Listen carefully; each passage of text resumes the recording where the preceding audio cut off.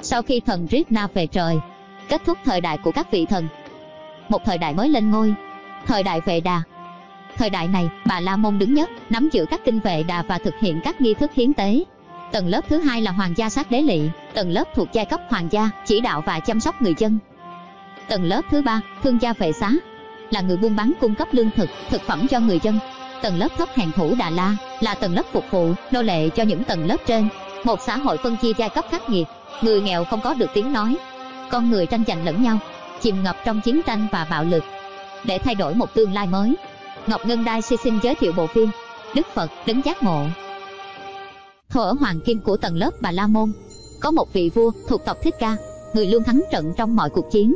Đức vua ấy trị vì vương quốc Kapilavatu, người có hai vị hoàng hậu, hoàng hậu trưởng bị hiến muộn và hoàng hậu thứ cũng thế, người khao khát được làm mẹ. Vì thế nên người ở bên cạnh cháu trai để nguôi ngoai nỗi buồn không con. Con có thể gọi ta là mẹ được không? Mẹ ơi Chị à, bệ hạ đã trở về, người đã thắng trận.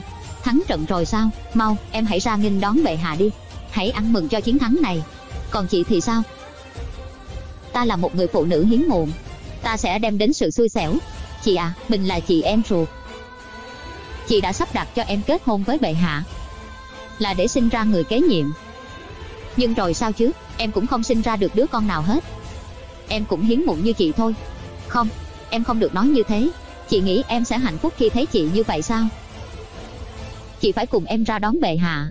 Chị phải tươi tắn như một cô dâu.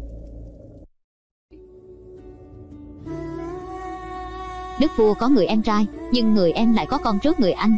Còn ngài là vua, nhưng lại không có con. Bệ hạ rất muốn có được một đứa con như cháu trai. Đây vẫn mãi là ước mơ, không thể thực hiện được. Ngày qua ngày, hoàng hậu trưởng luôn bên cạnh chăm sóc cho cháu trai. Chỉ khi bên cạnh cháu trai, người mới có cảm giác được làm mẹ. Biết được điều này, em Châu đã nảy sinh lòng tham vô đáy. Được lắm, cứ dành thời gian cho con trai của ta đi. Khi cả hai vị hoàng hậu đều không có con, thì cháu trai của hoàng đế sẽ kế nhiệm ngai vàng. Tất cả sẽ thuộc về con trai ta. Nhưng người tính không bằng trời tính. Bệ hạ tổ chức một bữa tiệc hiến tế lớn, mời tất cả các vị bà la môn tài giỏi. Thưa bệ hạ, ngay sau khi thần mặt trời rọi sáng, ánh sáng chiếu vào đóa sen nở, thì tức là lời cầu nguyện đã được thần linh chứng giám.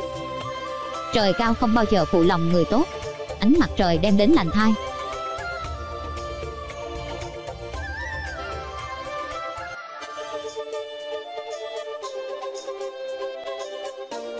Chúc mừng hoàng hậu, hoa sen nở trong cung điện, rồi người sẽ có được con. Đêm đó hoàng hậu trưởng ở cùng bệ hạ,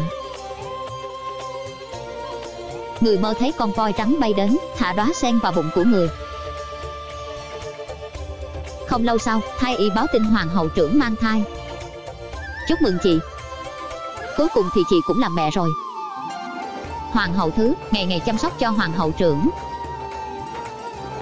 Chị biết không chị vui một nhưng em vui mừng gấp đôi. Tại sao? Vì em vừa là mẹ thứ của đứa trẻ, mà vừa là chị ruột của đứa bé. Mọi kế hoạch của em châu đều tan biến khi hoàng hậu mang thai. Để phá thai của hoàng hậu, em châu đã ép nô tỳ, bỏ thuốc độc vào cháo sữa. Mình không thể hại hoàng hậu, mình không thể làm hại thai nhi. Thưa hoàng hậu, nô tỳ muốn bẩm báo, có việc gì thì nói sau đi. Ngươi đừng quên mang cháo sữa đến đây cho hoàng hậu. Hay ngươi muốn hoàng hậu bụng đói, nghe ngươi nói.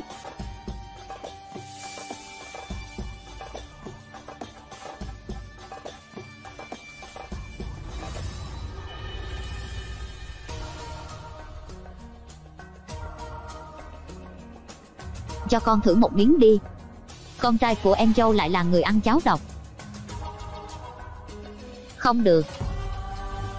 Đừng có ăn. Nhổ ra đi. Ngươi làm cái gì vậy hả? Trong cháo sữa có độc. Có độc sao? Kẻ nào dám bỏ độc? Là hắn. Ai sai ngươi bỏ độc? Khai mau. Sợ hắn sẽ khai ra mình em trai đức vua đã giết hắn. Kẻ nào làm hại gia đình ta phải bị trừng phạt thưa bệ hạ. Để tránh mọi điềm cỡ hoàng hậu trở về quê ngoại để sinh con. Đó là đêm rằm tháng tư. Người dừng chân tại phường lâm tỳ ni. Tại đây người chuyển dạ. Vì quá đau bụng nên người đã phịnh vào cành cây mới để được thái tử. Trên ngọn núi Himalaya, một vị tiên nhân nhập thất, chịu cảm được điềm lành, người đã tỉnh dậy. Một bậc vĩ nhân cao quý đã đản sanh rồi, từng bước chân ngài đi, nở cánh hoa từ bi. Một bậc thánh cao, sẽ ngự trong tâm của mỗi chúng sinh. Ngài ấy đã đản sanh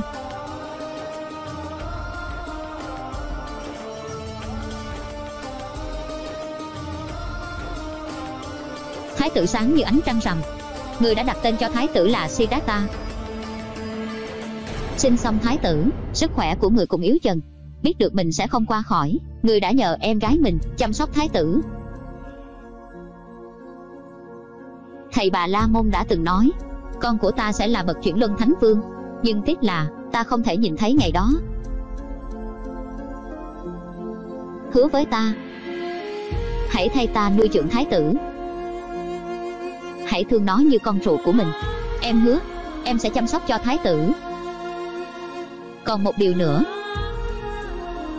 em đừng quên ta nhé. Em không bao giờ quên chị đâu. Em mãi mãi không bao giờ quên đi chị.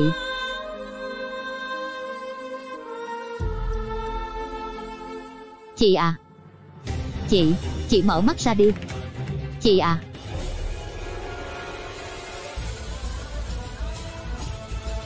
Sau khi trả hết nghiệp trần, hoàng hậu ra đi. Cảm ơn người người đã sinh một bậc thánh vương, cho cõi trần gian này. Hoàng hậu thứ đã trồng cây để tưởng nhớ hoàng hậu trưởng như được sống bên chị những tháng ngày tiếp theo tiên nhân asita sống ẩn tu trên núi hôm nay người đến cung điện chỉ để được gặp thái tử người cảm nhận được sự thiêng liêng nên người rơi nước mắt tại sao người lại khóc chẳng lẽ cuộc đời con trai ta không, ta không khóc vì thái tử, mà ta khóc cho bản thân mình. Ta đã quá già. Ta không thể sống đến ngày nhìn thái tử trở thành một bậc giác ngộ được. Giác ngộ, thái tử không bao giờ đi theo đường tu hành đâu tiên nhân. Thái tử tuy thuộc hoàng gia sát đế lì, nhưng số mạng đã định. Ngài sẽ là một người tu hành, người sẽ thống trị thế giới tâm linh của chúng sinh.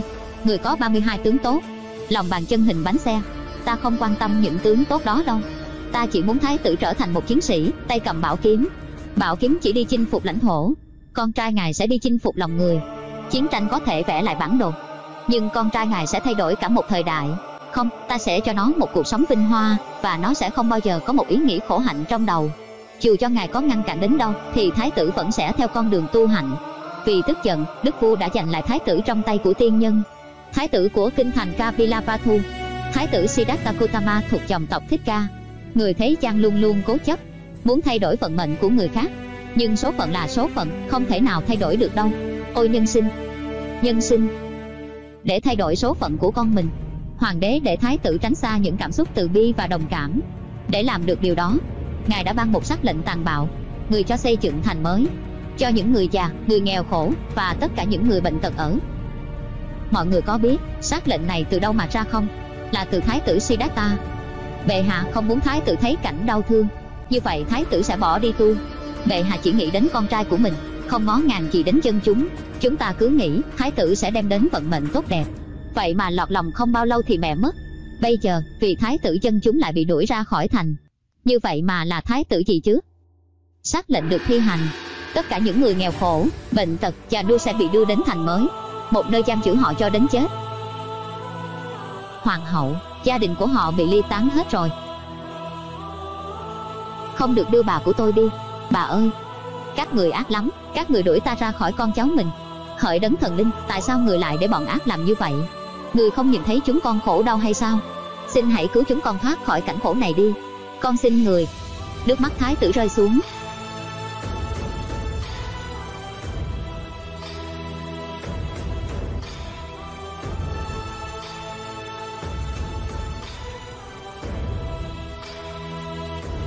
10 năm trôi qua, thái tử sống trong cung điện như những gì đức vua sắp xếp. Nhưng đức vua không ngờ rằng, lời tiên tri năm xưa sắp thành sự thật. Người anh họ luôn canh ghét thái tử, nhưng lúc thái tử chơi trò bịt mắt, người anh họ đã cưỡi ngựa lao vào Siddhartha. May mắn là con của người đánh xe đã cứu thái tử.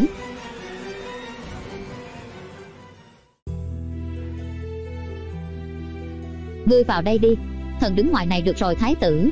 Cậu ta là con của người đánh xe, không được vào đây đâu thái tử. Tại sao? Họ thuộc tầng lớp thấp thủ Đà La, còn ngài thuộc giai cấp hoàng gia sát đế lỵ.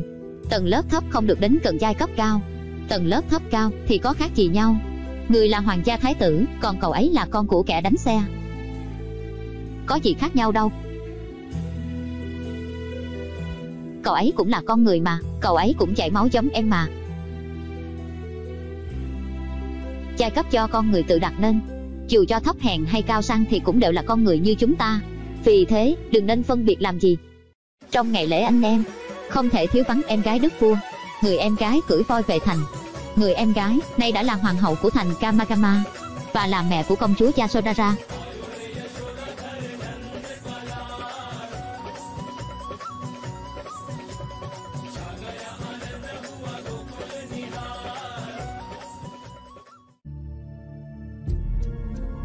dạy chân lý cho thế gian là trách nhiệm của bà La Môn, nhưng bảo vệ cho người dân là hoàng gia sát đế lỵ.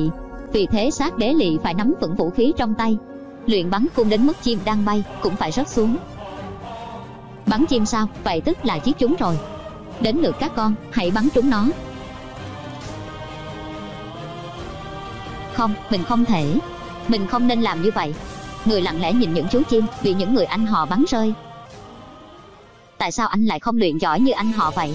Vì ta không muốn dùng đến vũ khí. Vậy anh có thích cưỡi ngựa không? Đương nhiên, động vật nào ta cũng thích hết. Còn em thì rất thích hoa, em sẽ mang nó về thành của mình, vì ở đó không có hoa đẹp như thế này. Biết công chúa Yasodhara thích hoa, thái tử đã chạy đi hái hoa. Người mang đến tặng cho công chúa. Bỗng nhiên, con chim bị rớt xuống. Người cứu con chim ấy. Trả con đó lại đây cho ta. Không, em không để anh họ làm hại nó đâu. Từ bây giờ, con vật này là của em, nếu em không trả thì ta sẽ mét đức vua vậy thì anh cứ đi mét đức vua đi thưa bệ hạ, con chim là cho con bắn được, vậy mà siddhartha đã giành nó. Khi ta làm tổn thương kẻ khác, thì sẽ tạo nên khổ đau, yêu thương và che chở, chính là tình thương. Trên đời này, cần tình thương hay sự khổ đau? Hoàng gia sát đế lỵ không nhất thiết phải săn bắt. Nhiệm vụ của sát đế lỵ là bảo vệ kẻ khác. Thưa bệ hạ, một bên là bản tính của hoàng gia, một bên là chính pháp của hoàng gia. Thôi thì, hãy để con chim tự quyết định, nó sẽ thuộc về ai? Một người giết hại nó và một người cứu nó. Cuối cùng con vật ấy cũng chọn người cứu mình. Một con thú cũng cảm nhận được tình thương. Vậy tại sao chúng ta lại đi giết hại những động vật vô tội? Công chúa tạm biệt mọi người trở về thành. Anh đi đâu nãy giờ vậy? Ta đi kiếm hạt giống tặng em. Một bông hoa chỉ nở có một lần. Nhưng hạt giống làm mầm sống, nó sẽ gieo hoa khắp thành của em, không bao giờ tàn. Công chúa Yasodhara rời khỏi thành, chỉ có cậu bé Siddhartha ở lại. Tạm biệt, một người em họ, một người bạn khó quên. Mười năm trôi qua, dưới tán cây là bóng hình của người thiếu nữ. Nàng là công chúa Yasodhara, nàng yêu quý loài hoa như trang sức của mình. Tình yêu của nàng bao la như mặt trời. Mặc kệ thời gian trôi qua, nàng chỉ yêu mỗi một người. Như loài hoa mặt trời, chỉ hướng về mặt trời mà thôi. Những hạt giống mà chàng đã tặng, nó đã nở khắp thành kamakama này rồi ta sắp gặp lại chàng rồi. Ta sẽ đi dự cuộc thi chiến binh. Nàng đến thành kapila thu để xem cuộc thi chiến binh. Cuộc thi được tổ chức giữa các giai cấp hoàng gia. Một chiến binh mạnh nhất cuộc thi. Một con người không đội trời chung với thái tử. Người anh họ devadatta. Cứ chờ mà xem, ngươi có thắng nổi ta không? Ta tin rằng, thái tử sẽ thắng. Trong khi đó, thái tử vẫn luôn chăm chỉ thiền định. Liệu người có chiến thắng cuộc thi này không? Tiếng còi bắt đầu được vang lên.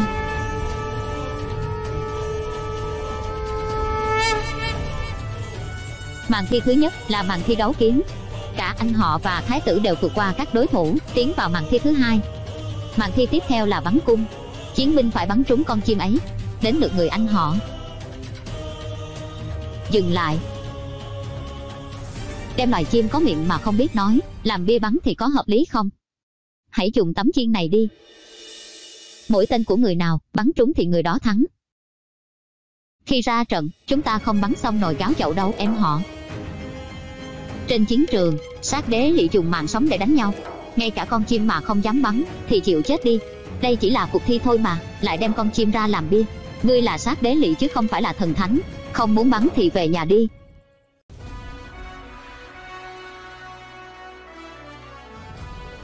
Nếu như giết loài chim mới thắng, thì ta xin thầy hãy cho ta bắn vào thứ khác.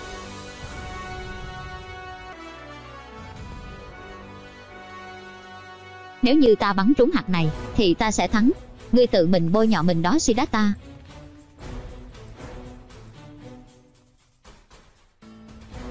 Người anh họ ném viên hạt lên trời, cho đến khi không còn nhìn thấy được nữa. Thái tử nhắm bắn mũi tên, từ trên cao rơi xuống hạt bị bể. Điều đó chứng minh thái tử đã bắn chính xác. Cuộc thi tiếp theo là đấu côn. Hôm nay hãy cho mọi người thấy cây côn của con với đĩa xoay của thần Krishna thần uy như thế nào. Đĩa xoay của thần Krishna dùng để bảo vệ chính pháp, côn pháp của con hãy chiến đấu vì chánh pháp. Nhưng người lại bỏ cuộc vì không muốn đánh anh họ bị thương. Người thầy đã nói với thái tử, hãy nhớ rằng con chiến đấu không phải vì bản thân mình, mà vì niềm tin của ba mẹ và cả người thầy này nữa. Nếu như con bỏ cuộc, tức là gạt bỏ đi sự kỳ vọng của mọi người. Vậy thì đừng nhìn mặt ta nữa. Vì câu nói ấy, thái tử trở lại cuộc thi, quyết tâm không làm thầy và gia đình thất vọng.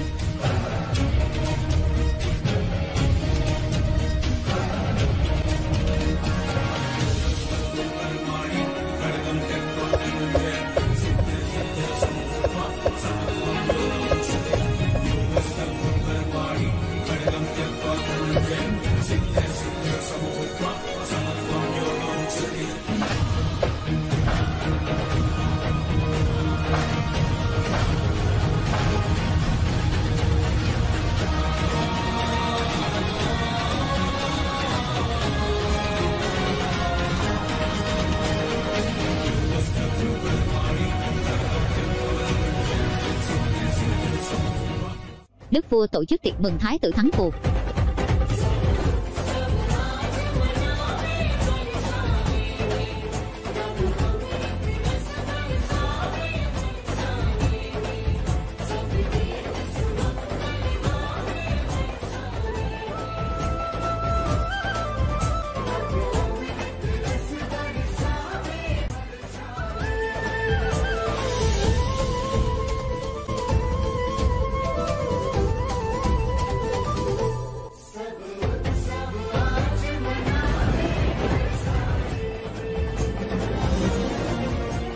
Nàng là công chúa Chasodara.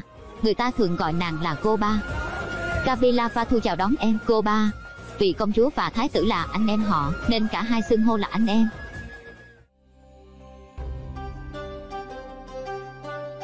Anh tiếp đón khách như vậy hả? Người ta nói, tiếp đãi khách như hầu hạ thần linh. Vậy mà anh lại tiếp đãi em như vậy sao? Vậy ta hỏi nàng. Cái gì đen hơn đêm của đầu tháng? Đơn giản thôi, đó là quần mắt của thiếu nữ. Anh nhìn xem, có đúng không?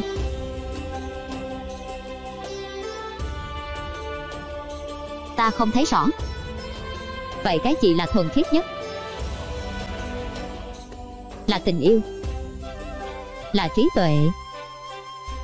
Anh thổi sáo rất hay, vậy có thể dạy cho người khác không? Nếu em muốn, ta có thể dạy mà.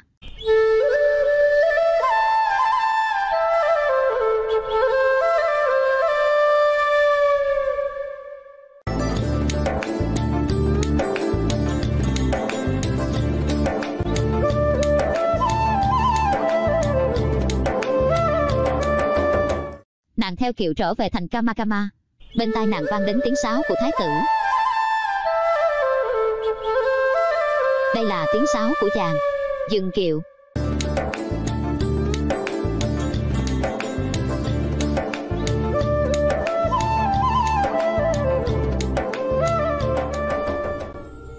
Em đang chuẩn bị về lại thành. Em đã kiếm anh ở khắp mọi nơi, vậy mà anh lại ở đây.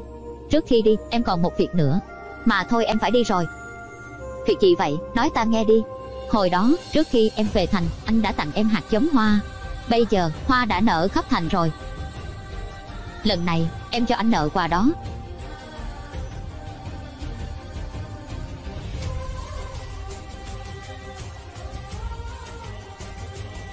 Tất cả hoa đều đã nở rồi. Ta tặng em cây sáo, để hòa cùng giai điệu của hoa. Tạm biệt.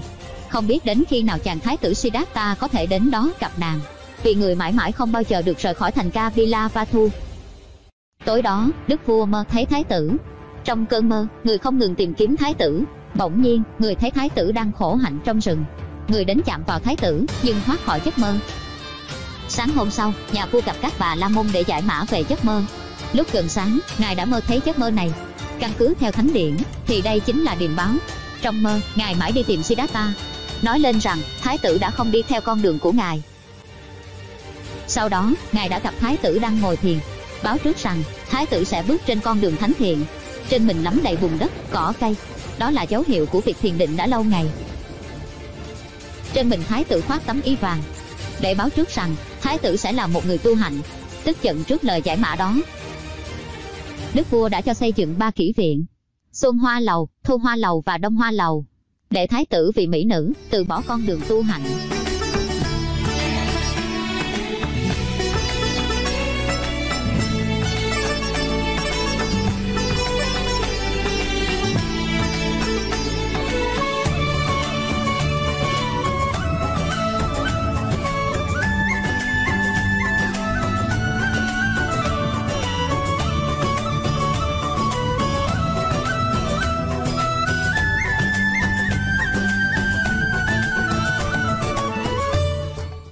thái tử, thần là urimila. Ta nghĩ nên gọi nàng là nữ thần âm nhạc.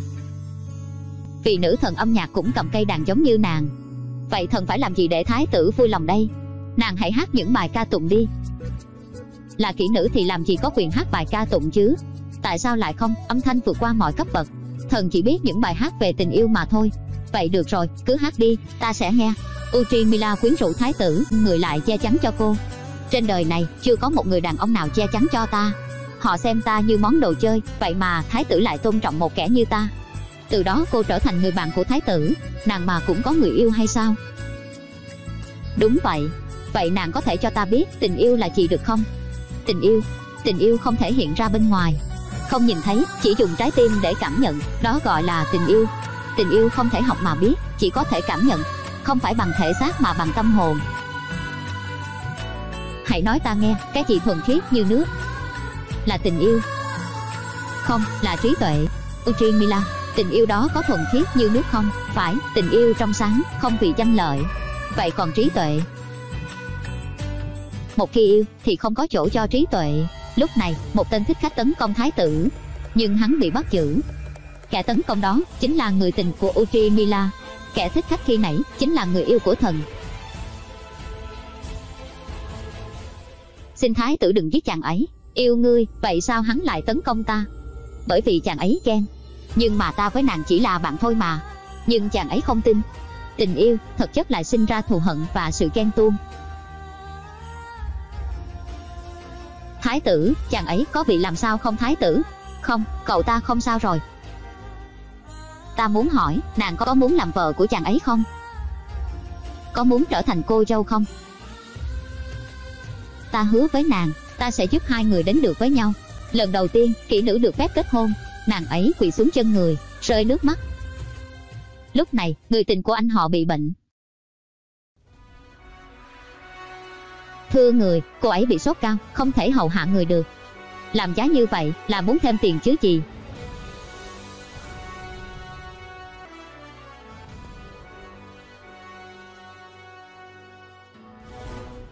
Nhảy đi, nhảy cho ta xem đi.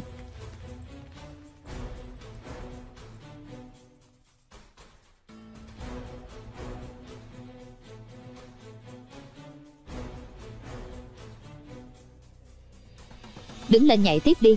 Anh nên dừng lại đi, thật đáng xấu hổ. Ngươi nên cút về cung đi. Ở đây cần gì phải biết xấu hổ? Cô ta chỉ là thứ mua vui, quan tâm đến nó làm gì? Cô ấy cũng là một con người. Không, cô ta chỉ là một kỹ nữ mà thôi. Chỉ để mua vui cho ta mà thôi. Ở đây còn biết bao nhiêu cô gái khác, anh có thể chọn một người khác mà. Vậy thì ta sẽ chọn Uchi Mila đi với ta nào Uchi Mila hôm nay ngươi phải hậu hạ cho ta ta hứa với nàng, ta sẽ giúp hai người đến được với nhau. Ngươi thấy không, Uchimila không thể xa ngươi, cũng giống như, ta không thể vui nếu như không có con nhỏ này hầu hạ vậy. Đi, nhanh lên.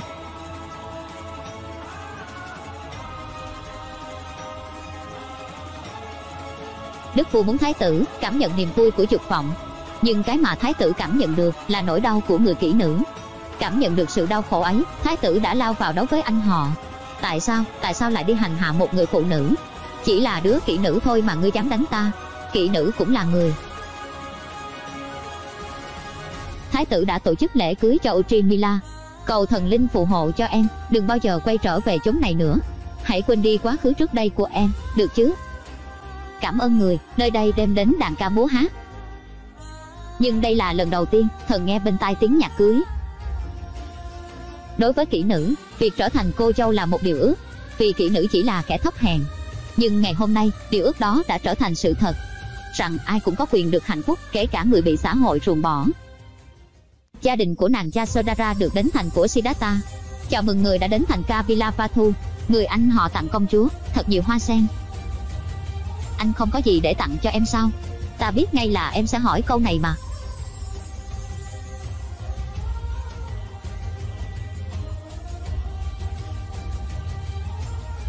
Giữa hoa của ta và của Siddhartha có gì khác nhau? Hoa của anh đều do người hầu hái về. Còn hoa của thái tử là do người tự hái. Vì vậy mà chân của anh ấy bị dính đầy bùn đất. Công chúa yêu thái tử, nhưng ba của nàng lại ban hôn cho nàng với người anh họ. Con yêu Siddhartha, ngoài chàng ra, con không kết hôn với bất kỳ người nào khác. Không bao giờ, Siddhartha chỉ là một kẻ hèn nhát cái người mà cha gọi là hèn nhát, đã chiến thắng người anh họ nhiều lần. Ta không tin, đó chỉ là những trò lừa gạt của hắn thôi. Nhìn hắn không có tố chất gì của một chiến binh. Vậy thì cha, hãy để họ đấu với nhau đi. Đức vua quyết định, mở cuộc thi kén rễ một trong hai người sẽ kết hôn với công chúa. Cha sodara, người đang đi đâu đó? Ta đến để trả lại cây sáo cho thái tử. Và ta sẽ giúp chàng ấy chiến thắng cuộc thi kén rễ thái tử nhất định sẽ chiến thắng, nhưng có tham gia đâu mà thắng cuộc chàng ấy không tham gia, vậy có nghĩa là mình sẽ phải kết hôn với người anh họ Devadatta hay sao?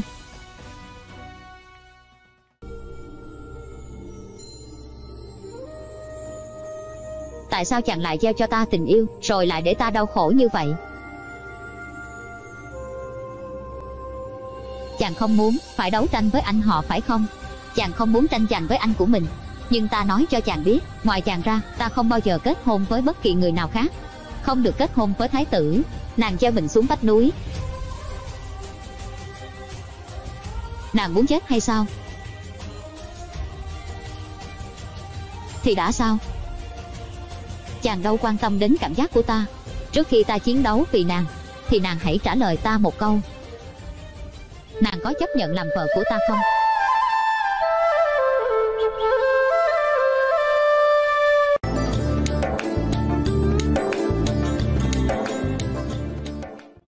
Trong lúc nàng tắm ở vườn thiên nữ, người anh họ đã xé rách tấm choàng của nàng. Đối với một người phụ nữ, đó là một hành động sỉ nhục, nàng quyết không để cho devadatta thắng cuộc. Hắn thì ở đây tập luyện, hắn sẽ chiến thắng mất. Còn siddhartha, chàng ấy ở đâu vậy chứ?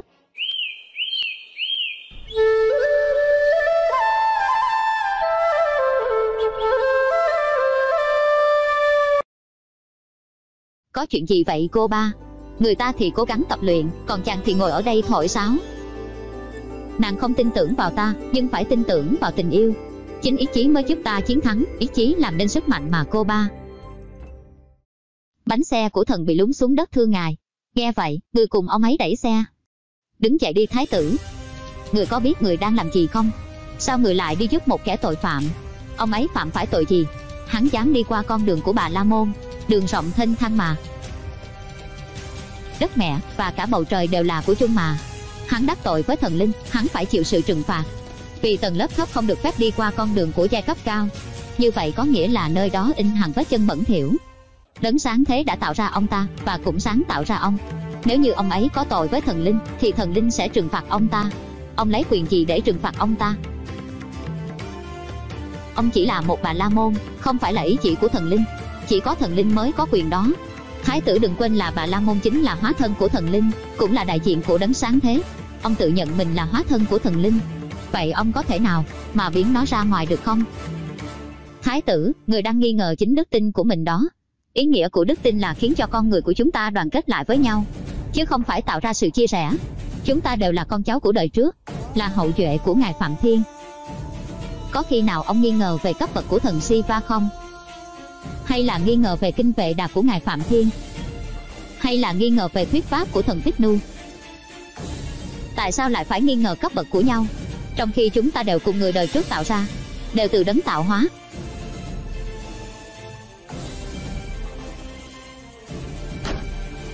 thái tử bị chọc tay rồi Vết thương của thái tử như thế, làm sao chiến thắng người anh họ? Cuộc thi kén rễ được diễn ra. Một trong hai người sẽ kết hôn với công chúa. Thần đã giả cây sau đây. Người hãy nhúng tay vào nước sau đây này. Khi nước sau đây khô, tay người sẽ không còn cảm giác đau. Người sẽ chiến thắng. Cuộc thi đầu tiên, trong chậu đựng chiếc nhẫn. Người nào tìm được chiếc nhẫn trước, người đó được quyền đưa ra thể lệ cuộc thi kén rễ. Nhưng mẹ của anh họ đã cho người bỏ chiếc nhẫn vào chậu của con trai bà ta mà thôi. Thái tử tìm kiếm nhưng không thấy chiếc nhẫn đâu. Ta tìm thấy rồi. Vì Devadatta thắng cuộc, nên cậu ta sẽ đưa ra thể lệ cuộc thi tiếp theo. Ta sẽ thách đấu với Siddhartha cuộc thi đấu Phật. Ai đứng vững đến giây phút cuối cùng của trận đấu thì người đó sẽ chiến thắng và sẽ là người lấy công chúa Yasodhara làm vợ. Nhưng bàn tay của người bị thương, làm sao chiến thắng cuộc thi này?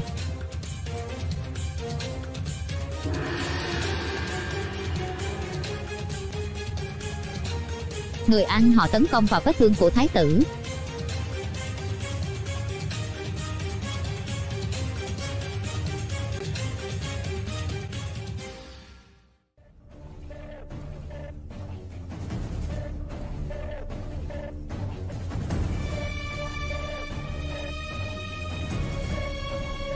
Ngươi không đủ sức để đấu với ta đâu. Hãy cút khỏi cuộc thi kén rễ đi. Ngươi nhìn công chúa và nhớ về câu nói ấy. Thiếp chỉ yêu mỗi mình chàng thôi Siddhartha Người quyết tâm thắng cuộc.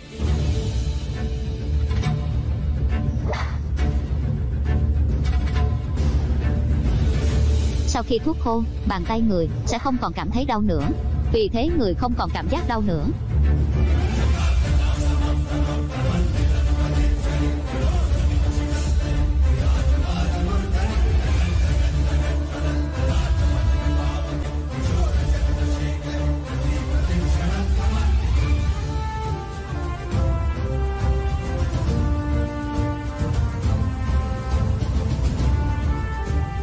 Tuyên bố người thắng cuộc là thái tử Siddhartha người sẽ kết hôn với công chúa Yasodhara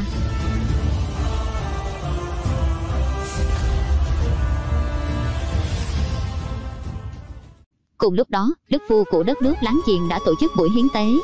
Sau khi buổi hiến tế kết thúc, đức vua thả ngựa đi, nếu ai ngăn chặn con ngựa, tức là khiêu chiến với đức vua.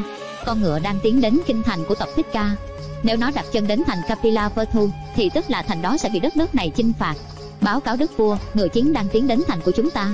Tập hợp chiến binh của tộc thích ca chiến đấu, bảo vệ thành ca Bilavathu người anh họ vây bắt ngựa chiến. Bắt ngựa chiến của đức vua, đồng nghĩa với việc chấp nhận khiêu chiến. Từ xa, thái tử nghe được tiếng còi của cuộc chiến. Chiến tranh rồi, ta không muốn thấy bất kỳ ai chết nữa. Ta không muốn thấy sự đau thương.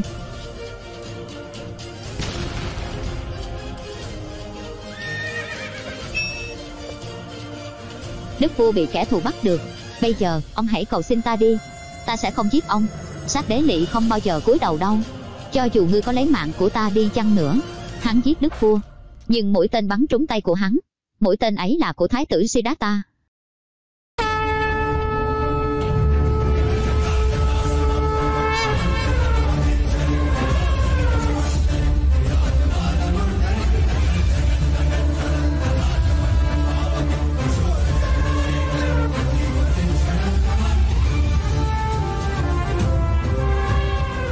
Bây giờ đội quân của ngươi đã bị bao vây rồi. Ngươi có muốn đàn voi kia chậm nát binh lính của ngươi không? Như câu nói của ngươi khi nãy. Hãy cầu xin ta đi Ta sẽ không giết chết ngươi đâu. Sát đế lị không bao giờ cúi đầu Ta sẽ quyết chiến đến cùng. Đủ rồi, hãy dừng cuộc chiến này lại đi. Nếu chiến thắng thì được gì chứ? Chỉ là nỗi thù hận thôi. Tất cả những binh lính đều phơi thay trên chiến trường. Tại sao lại chiến tranh làm gì chứ? Vì những tất đất không thuộc về chúng ta hay sao? Chừng cuộc chiến này sẽ làm mất danh dự của ta. Ta sẽ thỏa thuận. Nếu như chiến binh của ai bắn trúng mục tiêu, thì đội quân bên đó thắng. Ta đồng ý. Mục tiêu bắn cung sẽ là đầu của ta và đầu của ông. Con không được mạo hiểm như vậy. Bao nhiêu người đã hy sinh, tại sao cha lại tiếc sinh mạng của con làm gì? Nếu như con chiến thắng lần này, sẽ cứu được hàng ngàn, hàng vạn sinh mạng ở đây. Quốc vương, ta đã đội phương miệng của ngài rồi, bây giờ hãy chọn chiến binh tài giỏi của ta, lấy nó làm bia. Ai sẽ là người bắn? Là anh họ. Anh họ, anh chính là chiến binh tài giỏi nhất của toàn quân. Ta tin tưởng anh. bắn trúng ngai vàng thì tộc thích ca thắng, còn nếu như bắn sai thì thua cuộc, cũng như mất đi một vị thái tử. Đây là cơ hội vàng của người anh họ để giết chết thái tử. Nhưng người anh họ đã bắn trúng ngai vàng, tộc thích ca thắng cuộc. Người đã bỏ lỡ cơ hội trả thù vì không muốn làm mất danh dự của mình. Chiến binh của kẻ thù không dám bắn vào đức vua, vì thế nên đức vua khi phải chấp nhận thất bại. cúi đầu trước tộc thích ca. Dừng tay. Theo lệ, thần phải lấy đầu kẻ bại trận. Không, ta sẽ cho thái tử quyết định. Con muốn trừng phạt hắn như thế nào? Cuộc chiến đã kết thúc rồi, xin hãy tha thứ cho kẻ thù đi. Đức vua nhận ra, chiến tranh là sự đau thương, sự hy sinh. Con người không nên tranh giành mảnh đất vốn không thuộc về bản thân. Sự cầu hòa của người đã ngừng cuộc chiến tại đây. Chiến tranh kết thúc, đám cưới của thái tử được tổ chức.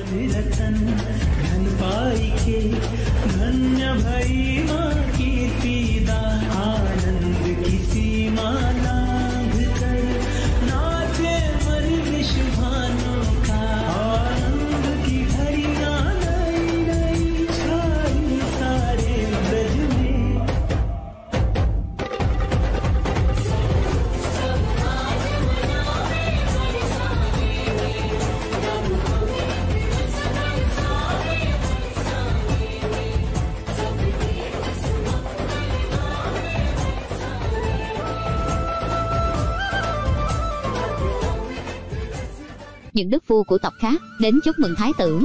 Trong đó, đức vua xứ Vesali mang theo mỹ nhân của thành, vũ công Amba Bali, một viên minh châu của xứ Vesali.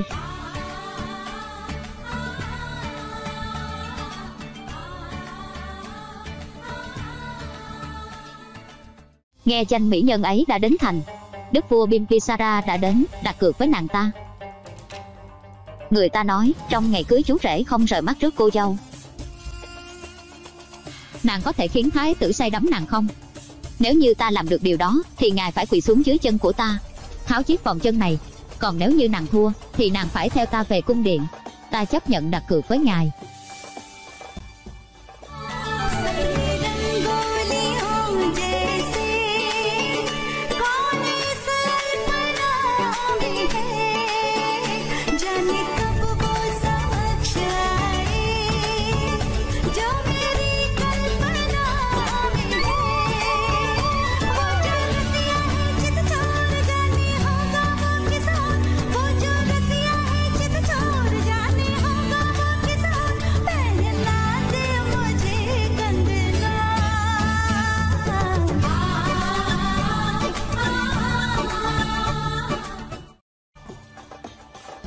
Tử cởi bỏ chiếc vòng cổ, tặng nó cho nàng vũ công.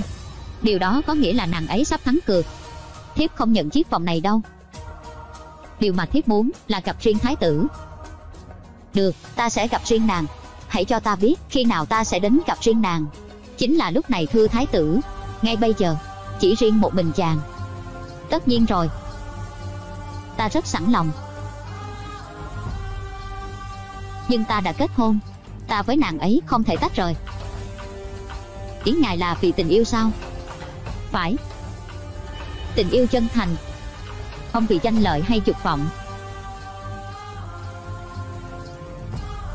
Hôm nay, ta đã thua ván cược này, nhưng ta đã hoàn toàn thắng phục ngài, một con người chung thủy.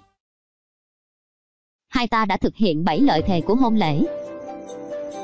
Hai ta sẽ bên nhau mãi mãi đúng không chàng? Phụ vương nói là, chàng được phép đi đến bất cứ nơi đâu ở vương quốc này, Nhưng phải dắt vợ mình theo. Có thật không? Đúng vậy.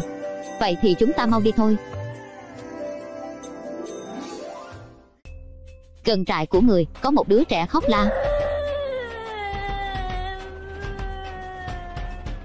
Sao em lại khóc? Binh lính đã bắt anh của em đi rồi, Họ đưa anh của em đến thành mới. Họ đưa anh trai em đi trị bệnh thôi, Em đừng lo lắng. Ngày mai, hai ta sẽ đến thăm em. Ngày hôm sau, thái tử đến thăm nhà của cậu bé ấy. Vì nhà họ nghèo, nên chỉ có thể mời thái tử bằng cơm trắng. Nếu ngài không chê, xin hãy dùng cơm.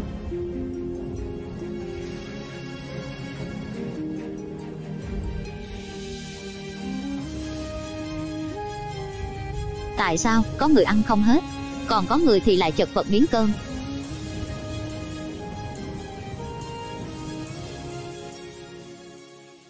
Khi đi, người ấm thầm để lại chiếc vòng vàng. Thái tử, người mang một lòng từ bi vĩ đại. Sáng hôm sau, cậu bé ấy đến gặp thái tử. Sao lại khóc nữa rồi? Hôm qua anh của con được về nhà, còn ngồi nói chuyện với mọi người. Nhưng sáng nay, anh không nói chuyện được nữa. Người ta đã mang anh ấy ra bờ sông rồi. Người ta ném con trai ông ấy xuống sông.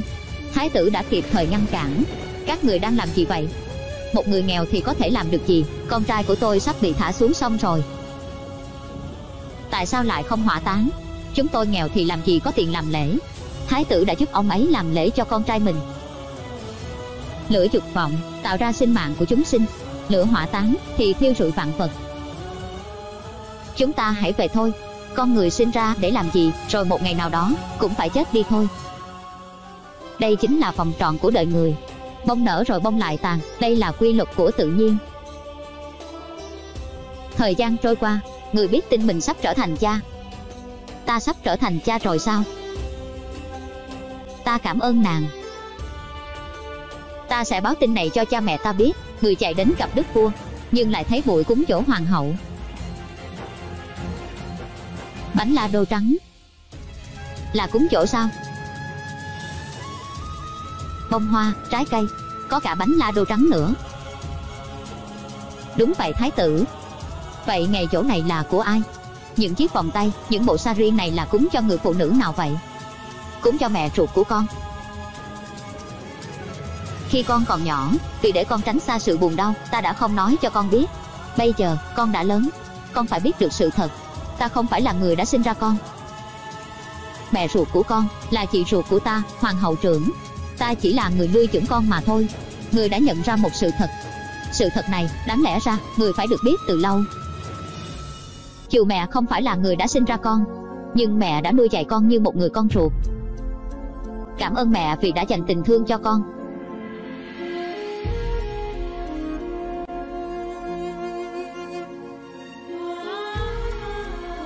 Ta muốn đưa con đến gốc cây này.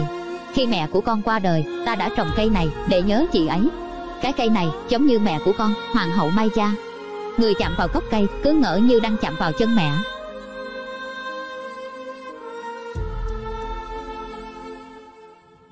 Ngày ngày trôi qua, thai trong bụng nàng càng lớn. Nàng Yashoda ra lâm bồn. Nàng hạ sinh đứa bé trai. Ta đặt tên cho con là Rahula. Rahula có nghĩa là xua đuổi hết mọi đau khổ, chiến thắng được mọi đau thương, vượt qua tất cả sự ràng buộc.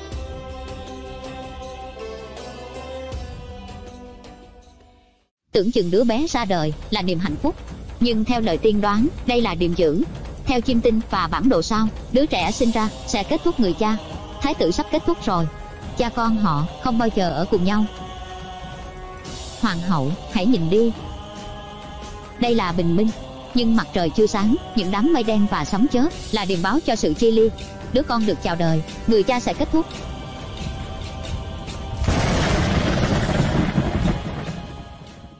Thành ca Villaver bị xâm chiếm, chiến tranh khiến con người phải chịu sự đau khổ.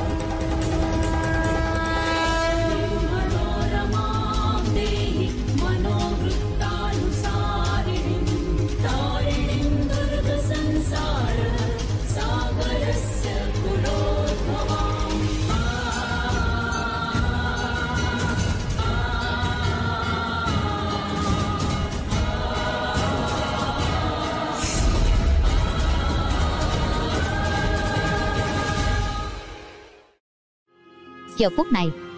Ta không còn tin tưởng vào đấng thần linh nữa. Nếu như có thần linh, tại sao ngài lại để những chuyện này xảy ra? Tại sao ngài ban cho con người sự sống, rồi khiến họ phải đau khổ, khiến con người xem nhau như thù địch, tự đấu tranh lẫn nhau? Nàng biết không, ta đã nhìn thấy xác chết trên chiến trường, còn nhiều hơn cả hoa ở trong vườn. Ta không muốn có quyền lực chút nào, ta không muốn làm vua. Ta chỉ cần có cách để giải thoát khỏi sự bi thương mà thôi ta chỉ muốn được bình yên thôi, cô ba. Ta chỉ muốn được bình yên. Phân phát lương thực cho người dân. Có một người đàn ông tức giận đập phá đồ đạc. Người bố thí để làm gì? Ngài không bao giờ hiểu được nỗi khổ của chúng tôi đâu. Ngài từng bị cơn đói hành hạ chưa? Đã từng lạnh run trong đêm giá rét chưa? Ngài đã từng nếm trải cảnh không có một cái mền để đắp chưa? Chưa có đúng không? Như vậy thì làm sao người hiểu được nỗi khổ của chúng tôi chứ? Chúng tôi không cần sự bố thí của ngài đâu nếu như ngài thật lòng muốn giúp đỡ chúng tôi, thì hãy ngăn quan triều đình lại, đừng ngược đẩy dân nữa. Nào là thuế đất, rồi đến thuế ruộng, không có tiền đóng thì bị tịch thu nhà cửa. Hôm nay, mẹ tôi đã chết cứng vì rét rồi. Thái tử tức giận, trừng phạt tên quan. Nhưng khi thấy người con bị tàn tật của ông quan, sau khi thấy con gái của tham quan bị tật như thế, thái tử đã cho ông quan ấy cơ hội làm lại. Ta nghĩ rằng người nghèo khổ vì tiền bạc, còn người giàu, có tiền chưa chắc gì đã hạnh phúc. Con người cứ mãi mãi khổ đau. Trên đường đi, người gặp được một vị tu sĩ. Đó là ai vậy? Ta chưa bao giờ thấy ai như vậy. Đó là người tu sĩ. Chắc ông ấy cũng cần gạo. Ngài hãy nhận lấy bao gạo này. Ta phải gọi ngài là gì? Hiền nhân, hành giả, hay người tu hạnh muốn gọi thế nào cũng được. Vậy ngài đang sống ở đâu? Ta xem cả vùng trời này là nhà của mình. Ngài sống bằng nghề gì? Mưu sinh à người đời lo mưu sinh, người tu hạnh thì lo cho người đời. Vậy làm sao ông có cơm ăn? Nhờ vào việc khất thực xin cơm mà không cảm thấy xấu hổ sao? Chiến thắng sự ngạo mạn. Và sĩ diện thì mới làm được người tu. Lỡ như không ai cho đồ khất thực thì sao? Thiên nhiên không bao giờ keo kiệt, nước có ở khắp nơi. Không khí luân chuyển, cây chân trái ngọt. Bình thường ngài làm gì? Khống chế tâm mình tâm của chúng ta thường bị lòng tham và sự phẫn nộ trói buộc. Vậy bây giờ ngài sẽ đi đâu? Không phải là ta đi, mà trời cao sẽ dẫn lối ta đi. Đi tìm nơi bình yên. Thái tử, ngài hãy chịu lấy thực phẩm đó, ta không cần đâu. Ngài hãy đi con đường của ngài. Còn ta cũng phải lên đường rồi. Ta đã gặp qua rất nhiều người người nghèo, người giàu, nhưng ông ta thì khác. Chỉ có tay không mà ông ta lại được an vui đến vậy. Rồi chuyện gì đến, nó cũng sẽ đến bí mật bấy lâu nay của đức vua sắp bị phơi bày. Thái tử đã đặt chân đến thành mới. Người thấy những người già, thấy những con người tóc bạc phơ. Tại sao tóc của họ lại màu trắng? Vì họ già thưa thái tử. Nhan sắc, trí tuệ và sức khỏe rồi sẽ tàn phai. Ai cũng phải già hết sao? Con người không ai tránh khỏi. Đừng chạm vào họ. Cậu ta bị bệnh. Ta cũng từng chạm vào người bệnh. Có bị làm sao đâu? Nhưng đây là bệnh phong cùi. Chạm vào ông ấy, người sẽ bị lây bệnh. Ngoài căn bệnh này ra còn vô số căn bệnh không thể chữa khỏi. Nghiệp khiến con người nghèo hèn. Nghiệp khiến con người bệnh khổ. Chẳng lẽ không có cách gì thay đổi được nghiệp hay sao? Nghiệp à? Bước qua đống than này đi. Ta đã phạm phải tội gì? Ngươi sinh ra chính là nghiệp rồi. Bởi lời tiên tri về cuộc đời của ngươi, mà đức vua đã nhốt những con người khốn khổ như ta, nhốt trong cái nơi này bọn ta phải thờ diêm vương, để mau chóng kết thúc kiếp người đau khổ này. Đều là do ngươi, tất cả đều là do ngươi.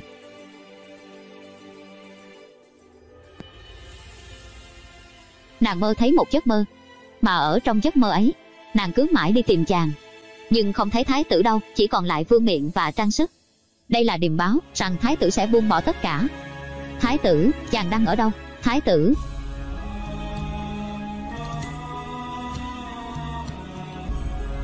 chàng làm gì ở đây vậy? Nó đang rất đau đớn. Ta cho nó uống nước, nhưng lại không chịu uống. Nó không uống nước đâu chàng à bởi vì con chim trống đã chết, nên chim mái cũng muốn chết theo. Nó muốn chết cùng người mình yêu. Làm sao có thể sống nổi khi một trong hai phải ra đi? Vậy là, tận cùng của tình yêu chính là sự đau khổ. Cô ba nói chết rồi. Nàng nói tình yêu mang đến sự hạnh phúc mà nhưng mà cuối cùng cũng vẫn là sự khổ đau.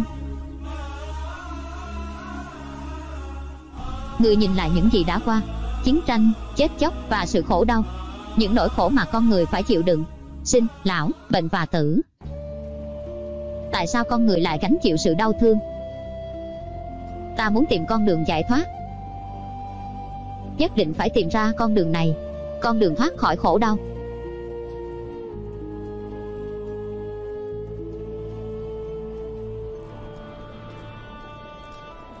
Ta muốn được đi xa.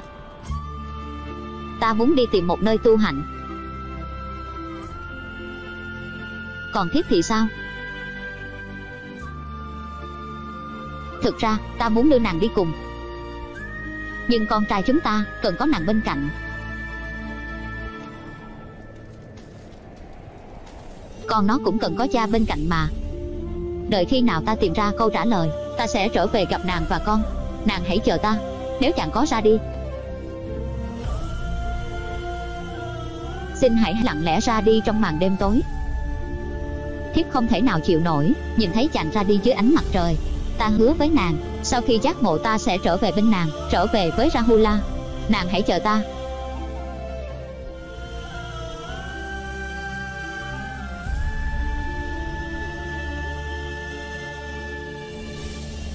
Tối hôm đó, rạng sáng ngày mùng 8 tháng 2 âm lịch, nàng chuẩn bị hành trang cho thái tử lên đường. Thiếp muốn níu giữ bước chân chàng, nhưng giờ đây, thiếp lại chuẩn bị hành trang cho chàng lên đường. Hãy chọn con đường mà chàng hằng mong ước, thiếp sẽ dõi theo bước chân chàng. Nàng nghe được, thái tử sắp về phòng, nên nàng giả vờ như mình đã ngủ,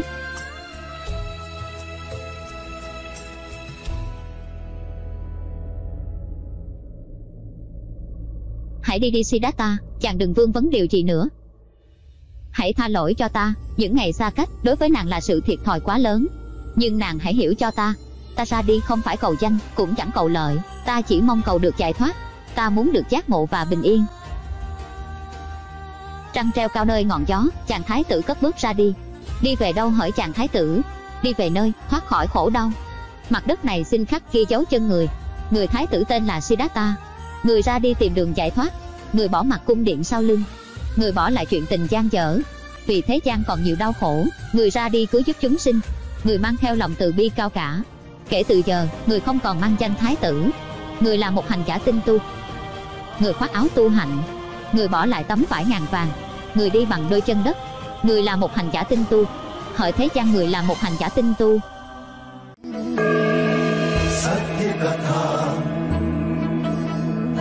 पुरुषार्थ कथा सुनो सुनो सिद्धार्थ कथा Người đến rừng tịnh tu, nơi mà các vị tu sĩ ẩn mình trong rừng sâu, tìm về yên tĩnh. Bên dòng nước biển là đại sư Alara, một bậc thầy của cảnh giới thiền định, thiền định dưới nước, một cảnh giới không ai sánh bằng. Người đã bái đại sư làm thầy. Việc đầu tiên đại sư giao cho người chính là đi khất thực, vì khất thực sẽ bỏ đi bản tính ngạo mạn và sĩ diện của một hành giả. Hãy cầm lấy cái bát này, khất thực đến khi đầy bát. Nhưng khất thực như thế nào vậy? Thí chủ trong nhà, xin hãy bố thí. Làm như vậy đó. Thí chủ trong nhà, xin hãy bố thí. Người khất thực và ban phước cho họ. Mình vừa ban phước cho họ sao? Không hiểu tại sao tôi lại biết đưa tay ra ban phước. Khi một người tôn kính anh, tâm thức của anh sẽ tự nhiên muốn chúc phúc cho họ người rèn luyện tâm thức ở rừng tịnh tu.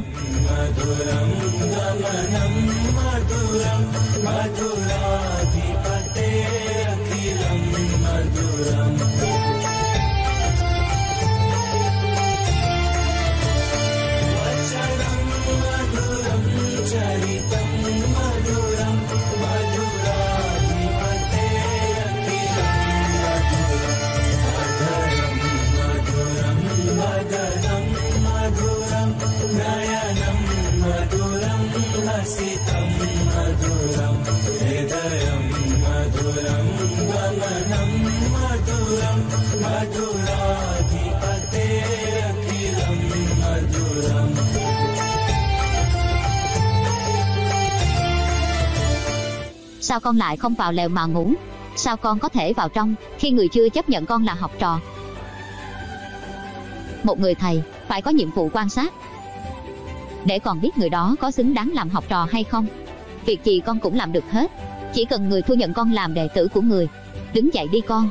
Ta chưa từng thấy một ai khao khát học đạo, con là một người rất hiền lành, rất tốt tính và con còn biết làm thế nào để đạt được mục tiêu của mình. Khi ta đeo chuỗi hạt này là con đã trở thành đệ tử của ta. Không phải con khoe khoang, đã từng học nhiều thầy giỏi, Kinh Vệ đạt, Áo Nghĩa Thư và các kinh điển con đều thuộc nằm lòng. Tại sao phải mất một tháng thầy mới nhận con làm đệ tử? Trong khi anh ta đến đây chỉ mới hai ngày, thầy đã nhận rồi. Kinh điển là kiến thức cho việc tu hành, nhưng tu hành thì phải dựa vào tâm, chứ không phải chỉ là kinh điển. Như ta đem cắt bỏ vào nước, con hãy dùng kiến thức của tâm, hãy lý giải nó. Thưa thầy, đợi cát lắng xuống dưới đáy, nước lúc đó sẽ trong, có thể dùng được rồi. Điều ta hỏi là trí tuệ của tâm, Siddhartha, con hãy lý giải đi. Thưa thầy, hạt cát tượng trưng cho sự ngạo mạn, dục vọng và sự tham lam của con người. Muốn khắc phục bốn thứ này, chỉ có tâm niệm thiền định mới lắng trong như nước. chúng ta chỉ học kinh điển mà không học tâm thì không thể gọi là hành giả trong số bốn điều mà Siddhartha vừa nói, có một điều rất khó để khống chế, đó là dục vọng. Nó giống như hai con rắn quấn lấy nhau, và từ đó sinh ra vạn vật. Dục vọng là chướng ngại lớn nhất để đạt đến sự thiền định cao nhất. Vậy làm sao để khống chế dục vọng, thưa thầy? Hình ảnh và ý nghĩ thúc đẩy dục vọng. Để khống chế nó, hãy nhắm mắt lại đẩy ý nghĩ ra xa. Tập trung vào hơi thở, nó sẽ dẫn lối chúng ta ra khỏi dục vọng của bản thân. Hít thở bằng mũi, khống chế tâm thức con muốn cầu xin thần linh để chàng nhanh chóng trở về bên con. Mãi mãi ở bên cạnh con. Thực ra, từ lúc chàng đi, con luôn luôn lo sợ.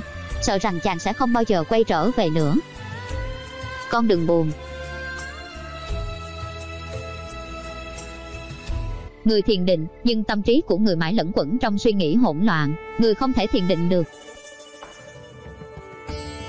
Thưa thầy, con không thể nhập thiền được nó khiến con đau khổ về những chuyện của quá khứ. Trong giai đoạn đầu của thiền định, quá khứ, hiện tại và cả tương lai, nó luôn vây quanh con. Những đám mây kia xoay chuyển không ngừng, nhưng nó vĩnh viễn không bao giờ chạm đến bầu trời. Khi con nhập vào thiền định, con phải làm sao giống như bầu trời kia? Suy nghĩ phải giống như mây tự do qua lại, nhưng mà tâm của con chỉ luôn luôn chuyên chú vào một nơi mà thôi tập trung vào hơi thở thì mọi khổ đau, mọi âu lo đều tan theo mây khói. Đến lúc đó, con sẽ cảm nhận được sự tĩnh lặng giống như bầu trời kia.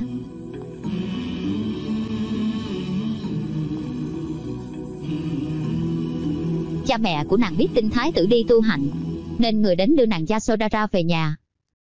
Con gái, hãy theo ta về nhà đi. Siddhartha bỏ đi tu hành rồi. Thánh điện đã nói, tình nghĩa vợ chồng gắn liền bảy kiếp lận. Sao có thể nói bỏ là bỏ được? Chồng con đã bỏ rơi con. Không phải vậy đâu thưa cha. Trước khi đi, chàng đã được con đồng ý. Chàng ấy đã hứa sẽ trở về. Đừng có dại dột như vậy. Một khi chim đã sổ lòng thì không bao giờ quay lại đâu con à. Nhưng chim và con người không giống nhau thưa cha. Đây là nhà của con con không đi đâu hết. Con sẽ đợi. Người thiền định đã được hai ngày. Người bình yên trong tâm trí, nhưng suy nghĩ lại hiện về con chim mái sẽ chết nếu như con chim trống ra đi. Người thoát ra khỏi thiền định trong niềm lo và nỗi buồn. Tuy người đã đạt đến cảnh giới thiền định dưới nước, nhưng còn tâm thì sao? Người vẫn chưa thoát khỏi sự khổ đau. Ta đã đạt đến tầng thứ bảy của việc thiền định rồi, ta cũng đem tất cả những gì ta biết truyền lại cho con con còn có thể tiến xa thêm một tầng nữa. Thưa thầy, xin người hãy chỉ cho con biết. Ai có thể hướng dẫn cho con đến tầng thiền thứ 8 hãy đi đến nước Mangada đi. Đó là nơi của nhà hiền triết vĩ đại Uka ngài ấy sẽ chỉ cho con bước đường tiếp theo. Vì thế người đã tạm biệt người thầy lên đường tiến đến Mangada người thầy lấy đất, nơi in hàng dấu chân của người bôi lên trán. Tại sao thầy lại bôi đất lên trán? Con không hiểu được đâu, ta muốn ghi nhớ những bước chân vĩ đại của người. Ngài là đấng giác ngộ, cứu độ chúng sinh. Những bước chân của ngài, chúng con xin ghi nhớ. Ừ.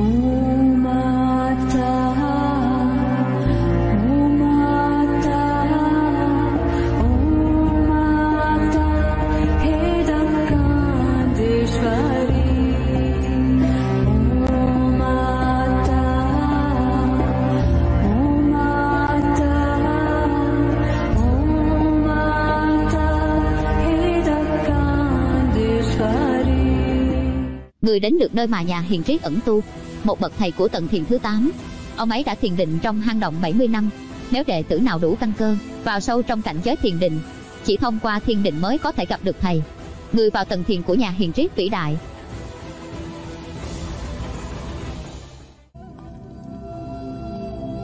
Con có thể hỏi người không?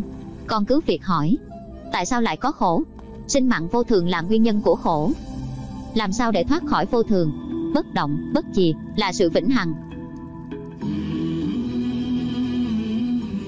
Chiếc vòng này là minh chứng cho việc con là học trò của ta.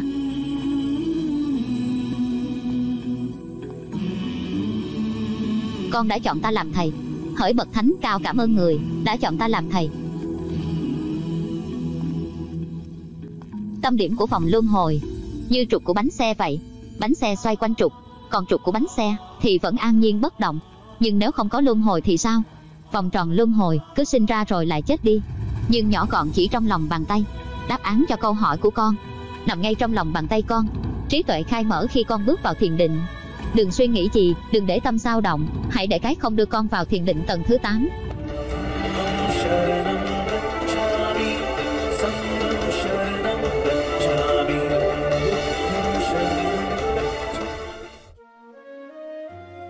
Thưa thầy, con có thể thấy được luân hồi hay không?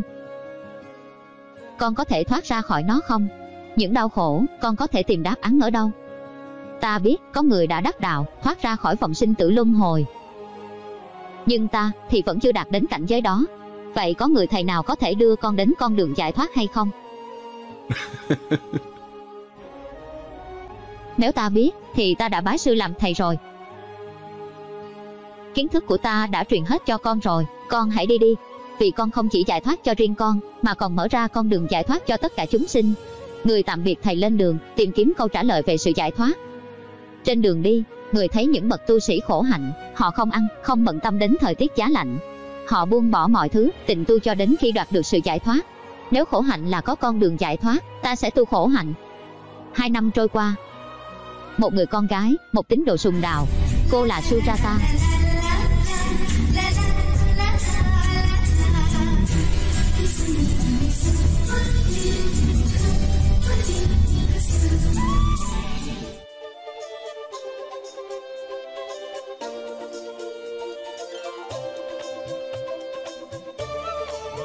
Người có phải thần linh không?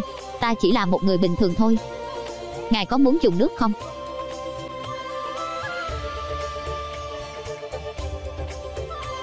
Xin Ngài, hãy nhận thức ăn cúng dường này. Không, ta là bậc tu khổ hạnh.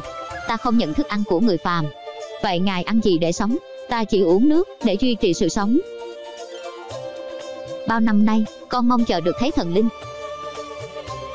Hôm nay con đã gặp được Ngài ấy rồi. Hai năm nay, người tu khổ hạnh nghiêm khắc, không ăn thức ăn nữa, người uống nước mà sống. Có phải các thầy đang tìm một người tu khổ hạnh đúng không? Phải, ngài ấy ở trong hang động kia. Cửa động có một lối mòn nhỏ, nó có thể dẫn ra bờ sông để uống nước. Ngài ấy đang tu khổ hạnh rất khắc khổ. Hãy đem hoa quả này để ngài ấy không phải chịu đựng cơn đói.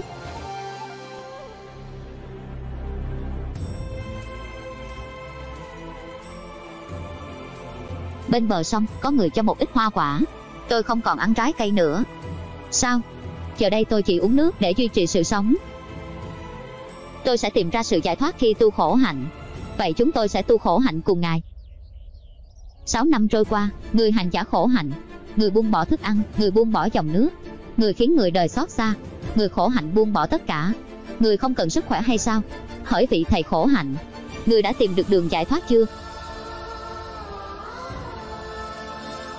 Nàng Surata đã cho ngài ăn bát cháo sữa. Sau khi nhận được thức ăn, người tỉnh dậy. Vì khổ hạnh mà ngài sắp chết đó, ngài có biết không? Ngài nói là tìm đường giải thoát, nhưng ngài đã tìm được chưa? Hay ngài sẽ chết trước khi tìm ra nó? Chính câu nói ấy đã khiến người không đi theo con đường khổ hạnh. Ta nghĩ rằng, ta vẫn sống trong cái thân này, ta phải khỏe mạnh, ta phải sống để tu hành, không thể đeo đuổi mãi một thứ gì mà không có kết quả. Sujata chân lên bát cháo sữa.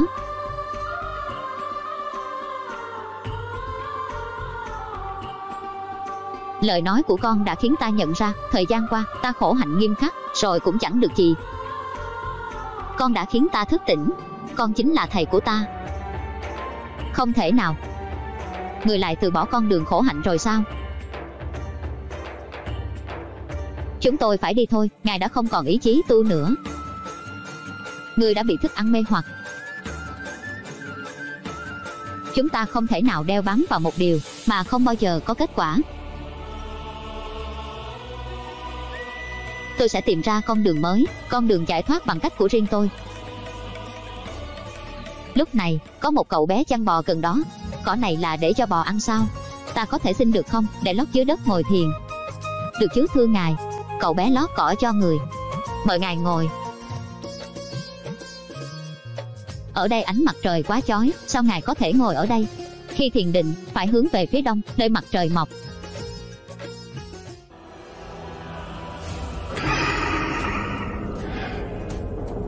Hãy mở mắt ra đi, ngươi đã đạt đến tận thiền này rồi.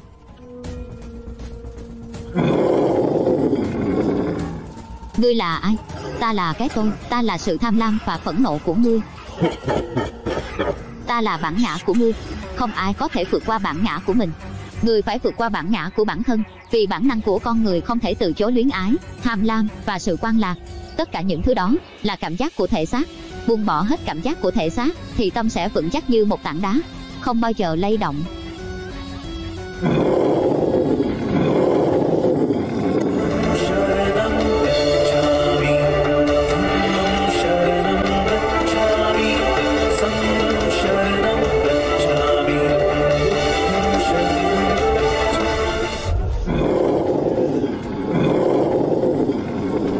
Hôm nay, mặt đất này minh chứng cho ta, ta chiến thắng ngươi. Cái ác của tâm, cái xấu của mỗi con người, ta đã chiến thắng.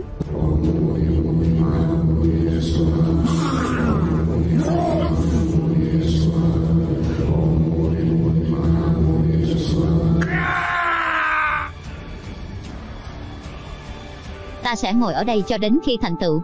Dù phải chết đói đi chăng nữa, ta cũng không rời đây để đi khất thực. Dù phải chết vì lạnh đi chăng nữa, ta cũng không bao giờ bỏ đi. Ta nguyện ngồi ở đây, tham thiền đến khi đạt đến chân lý tối thượng.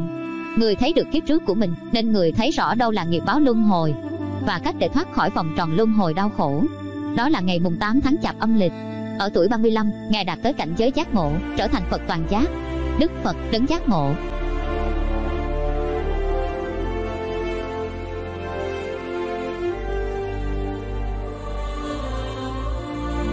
Và cũng kể từ đó, Ngài được gọi là Đức Phật, còn gốc cây ấy được gọi là cây Bồ đề.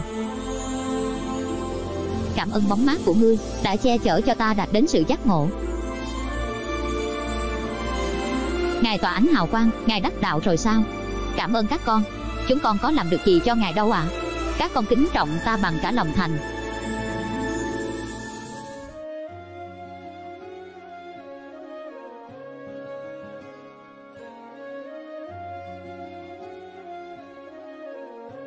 Lúc chúng ta ăn, không hề tập trung tinh thần để cảm nhận vị ngon của nó. Chúng ta cầm trái này, nhưng đầu óc chúng ta suy nghĩ về những thứ khác. Thời khắc trôi qua lãng phí. Nếu chúng ta tập trung vào việc ăn quả quýt này, đầu óc chúng ta cảm nhận vị ngon của nó, chúng ta sẽ thưởng thức trọn vẹn thời gian này. Cuộc sống cũng giống như thế, nếu chúng ta trụ trong giây phút hiện tại, không suy nghĩ về quá khứ, chẳng lo lắng về tương lai, chỉ có giây phút hiện tại này thôi. Chỉ có thế, tâm chúng ta sẽ an lạc, sống trọn vẹn từng giây phút. Một điều đơn giản như vậy mà chúng con lại không hề để ý tới.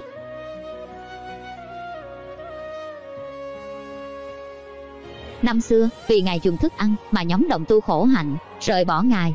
Lần này, Ngài tìm đến họ bằng hào quang của trí tuệ. Nhóm đồng tu khổ hạnh năm xưa, xin làm đệ tử đầu tiên của Ngài. Chân lý tối thượng, tự mình có thể chứng được, mà sự chứng ngộ, cần phải chính bản thân tu tập. Hiểu được sự tha thứ, đó mới chính là giải thoát của tâm. Không đề cao bản thân mình, chữ mình và vạn vật đều như nhau. Yêu thương họ, chính là yêu thương bản thân mình. Người khác đau, chính là tâm mình đau. Tha thứ cho người đã tổn thương mình, chính là tha thứ cho bản thân mình. Chúng ta là vạn vật, vạn vật là chúng ta. Vì vậy, đừng nên phân biệt ta và người. Năm người đồng tu ấy trở thành năm vị đệ tử đầu tiên của Đức Phật, đạt quả vị A La Hán.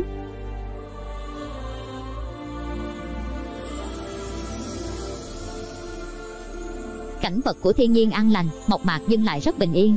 Đạo Phật của chúng ta sẽ như thế, đơn giản nhưng lại an nhiên. Bất kỳ ai cũng sẽ được học Phật, kể cả họ giàu hay nghèo. Lúc ấy, có một người tự tử ở vách núi. Thả tôi ra, ông có quyền gì mà ngăn cản tôi? Mạng sống của tôi, tôi có quyền. Không. Ba mẹ mới có quyền quyết định mạng sống. Họ là người sinh ra chúng ta, và là người nuôi dưỡng chúng ta lớn lên. Chúng ta nợ họ rất nhiều. Đừng nên hủy hoại bản thân mình. Không, con không thể sống tiếp được nữa, con không biết mình phải làm gì. Con không biết cuộc đời mình sẽ ra sao. Cô đơn và trống rỗng, tiền bạc và của cải không còn vui nữa. Khi con người ta khao khát có được thứ gì đó, nhưng khi có rồi chúng ta lại chán nó. Niềm hạnh phúc con đặt vào thứ đó, nên khi có rồi, con lại chán đi. Hạnh phúc nằm ở trong tâm, chứ không phải ở những thứ khác. Hãy nhìn cảnh vật này xem, bầu trời thật yên bình,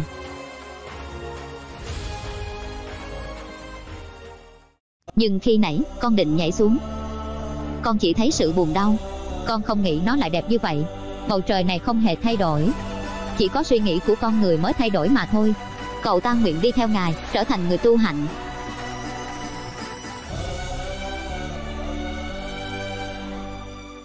Ba mẹ của cậu ấy không hài lòng về chuyện này.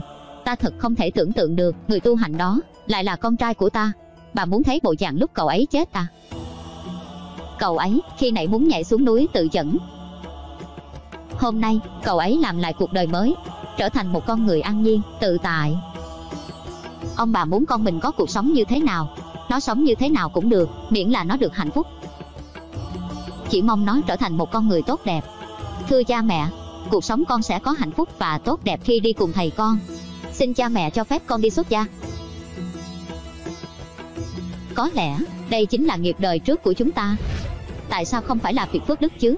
Từ nhiều năm nay chúng ta hiến tế động vật để rửa tội. Nhưng ta xin khẳng định, mọi tội lỗi đều do chính bản thân chúng ta. Cũng chính chúng ta mới có thể tiêu trừ nghiệp của mình. Thưa Ngài, chúng con làm sao để trở thành tín đồ của Ngài đây? Chỉ cần giữ gìn năm giới. Giới thứ nhất, không sát sinh, không giết hại những động vật vô tội. Khi không giết hại, tự nhiên trong lòng của chúng ta sẽ khởi sinh lòng từ bi. Giới thứ hai, không được trộm cắp và phải giúp đỡ những người khốn khó. Giới thứ ba, không tà dâm, thủy chung đối với vợ chồng của mình. Giới thứ tư, không nói xấu người khác, không nói những điều làm tổn thương người khác, không nói dối và không nói những lời định bợ người khác. Giới cuối cùng, không uống những thứ làm say lòng người. Pháp môn của ta rất đơn giản, chúng con có thể làm đệ tử của ngài được không? Ta không hề ép buộc ai phải đi theo mình. Cậu ấy tự nguyện xuất gia. Riêng hai người, hãy tiếp tục cuộc sống như trước đây, nhưng vẫn có thể làm đệ tử của ta.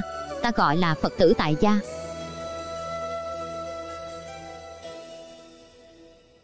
Giáo pháp của Ngài đã cứu độ chúng sinh, những con người theo tầng lớp khác nhau, giàu nghèo khác nhau. Những người ấy nguyện quy y theo Phật, tìm về sự giải thoát. Trên đường đến thành Mangada, người ở lại đạo tràng của tu sĩ Ca Chiết, một nhóm tu sĩ thuộc tín đồ của thần lửa. Ngài nói rằng có một con đường đưa chúng ta đến sự giải thoát. Nhưng tôi có một thắc mắc, những buổi hiến tế, chúng có ích lợi gì chăng? Ví dụ như có người muốn đi qua bên kia sông, vậy thì họ phải làm sao? Nếu như nước sông cạn thì có thể lội qua, còn nếu nước sông quá thì phải chèo thuyền hoặc là bơi qua sông. Nếu như anh ta không bơi qua sông, không muốn chèo qua sông, cũng chẳng muốn lội qua sông thì sao? Vậy anh ta chỉ có thể cầu xin thần linh, khi cầu xin như thế, bờ sông bên kia có nằm dưới chân anh ta không? Nếu như họ lo hiến tế cầu cúng, thì cứ mãi chậm chân tại chỗ mà thôi. Một đạo lý đơn giản như vậy mà tôi mới nhận ra. Xin Ngài hãy nhận con làm đệ tử của Ngài. Tu sĩ Ca Diếp cùng đạo tràng xuất gia theo Ngài. Đến vùng đất Mangada, các vị tỳ kheo không được nghênh đón, vì họ đã có tôn giáo lâu đời của riêng mình. Nhìn xem ai cũng trẻ tuổi, vậy mà cầm bát xin ăn. Đi nơi khác đi, chúng tôi không bố thí cơm cho đâu. Đức Phật làm phúc cho chúng sinh đây à. Nhưng bản thân ông ta là một kẻ bỏ vợ, bỏ con mà thôi. Tức giận các vị tỳ kheo bỏ về.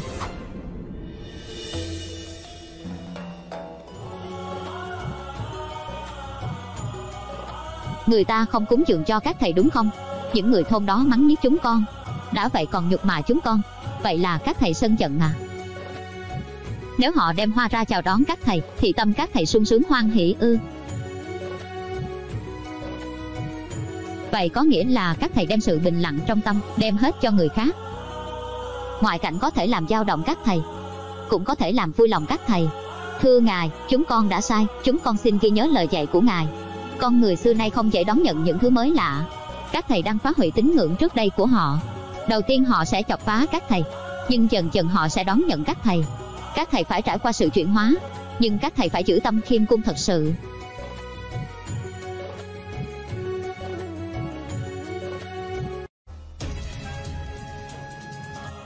Nếu như là thánh thần thì phải có thần thông. Hôm nay bọn họ mà không chứng minh được thần thông thì cút ra khỏi thành này. Kìa, tỳ keo đến rồi kìa. Ở trên đó là cái bát, nếu các người bay lên trên đó, lấy được cái bát, thì các người sẽ có tất cả những gì các người muốn. Chúng tôi xin lỗi. Các người thần thánh lắm mà, có việc như thế cũng không làm được. Thì như vậy mới nói bọn họ là kẻ lừa đảo, chỉ giỏi nói pháp chứ làm được gì. có biết thầy của họ là ai không? Là Phật Thích Ca, là kẻ bỏ vợ con chạy trốn vào rừng. Đủ rồi. Các người không được quyền sỉ nhục ngài ấy. Ngay cả hạt bụi dưới chân ngài, các người cũng không sánh bằng. Không phải các ông muốn thấy thần thông sao? Ta sẽ bay đến, lấy bát đó xuống cho các người xem. Đức Phật dạy rằng, thần thông không phải dùng để thể hiện cho người ta thấy. Bỏ ngoài tai, lời khuyên của thầy mình. Thầy ấy đến, chứng minh thần thông trước mặt tất cả mọi người.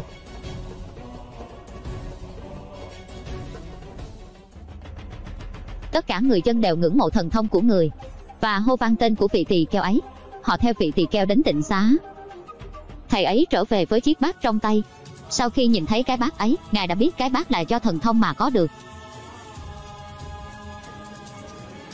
Bây giờ, họ không còn tin vào chánh pháp, lại đi sùng bái cá nhân, không quan tâm đến chánh pháp, chuyển qua sùng bái sự thần kỳ. Từ nay về sau, nếu còn có ai phô diễn thần thông trước mặt mọi người, thì không còn là đệ tử của ta nữa. Xin ngài hãy tha thứ. Người ta chửi mắng con, con mặc kệ. Nhưng họ sỉ nhục ngài, con không thể nào nhịn được. Dù họ có sỉ nhục ta, nói xấu ta, ta cũng không để bụng, tại sao thầy lại nóng giận với họ? Nếu các thầy lo phô diễn thần thông, thì sẽ khiến cho mình lạc mất phương hướng. Vì thần thông không phải là mục đích của sự tu tập, tu tập là để được giải thoát khỏi sự khổ đau.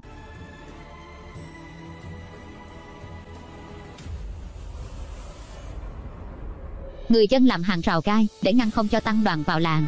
Khắp nơi này đều là gai nhọn, ngôi làng này không ai chào đón ông cả. Ta xin các vị, hãy cho ta được vào trong làng của các vị. Bà La Môn đưa ra điều kiện. Được thôi, nếu ông bước qua đám gai nhọn kia, thì vào đây khất thực, có gì đâu mà ngại. Ngài từng bước, từng bước đi trên gai nhọn. Dù cho có gian nan, dù cho đôi chân ngài có rỉ máu, ngài vẫn đến với những chúng sinh vô minh. Người dọn phân ở đó cảm thấy xót xa, nên dọn dẹp gai nhọn cho ngài đi qua. Ngài có thể vào làng được rồi. Ngoài họ ra, còn rất nhiều người mong được cúng dường cho ngài. Ngài ban phước lành cho người dọn phân ấy. Ngài không nên chạm vào người con, điều đó sẽ làm ô uế ngài. Chạm vào người khác, làm sao mà làm ô uế được chứ? Chỉ có tham, sân, si mới làm cho con người ô uế. Một người lòng đầy yêu thương như con, chỉ có thể khiến người khác vui lòng, chứ không khiến cho họ khổ đau. Ông đã đi ngược với giai cấp. Một kẻ thấp hèn thủ Đà La đã không có quyền gì rồi. Đằng này, ông còn binh vực cho một kẻ chiên Đà La nữa chứ. Chiên Đà La là giai cấp thấp nhất vì họ là kẻ chọn chất thải. Bầu trời này, mặt đất này, không phân biệt ai bao giờ. Nếu như các người kỳ thị họ, thì tức là phỉ bắn đấng sáng thế. Làn gió đem đến sự mát lành, nước đem đến sự sống cho muôn loài. Xưa nay, tự nhiên không hề phân biệt bất cứ ai. Vậy tại sao, loài người chúng ta lại đi chà đạp lẫn nhau như vậy? Ông nói thì hay lắm, sao không giỏi cho hắn làm đệ tử luôn đi? Lời nói của ông rất chí lý. Con có muốn xuất gia theo ta không? Con chỉ là kẻ dọn phân, đâu dám mơ đến việc xuất gia. Khi con thấy ta bước qua gai nhọn, con đã thương cảm dọn gai này. Vết thương của người khác, con cũng cảm nhận được. Phẩm hạnh của con là điều quý hiếm trong thế gian. Ta hoan nghênh con trở thành tỳ kheo, đệ tử của ta. Đức Phật, lòng từ bi của Ngài không phân biệt bất cứ ai, dù đó có là kẻ đánh xe hay có là một người chọn phân. Ngài vẫn rủ lòng từ bi, cứu độ chúng sinh. Siddhartha, tuy hai ta không đi cùng nhau, nhưng hai ta cùng chung một mục đích. Thiếp biết chàng tu hạnh, sẽ nằm dưới đất và ăn chay, thiếp cũng sẽ sống như chàng. Ngày chàng trở về, sẽ không còn xa nữa. Trước kia, người đã hứa với nàng Yasodhara, khi nào giác ngộ, ta sẽ trở về gặp nàng. Trở về bên cạnh Rahula. Vì lời hứa khi xưa, nên ngài quay trở về thành Kapilavathu. देहि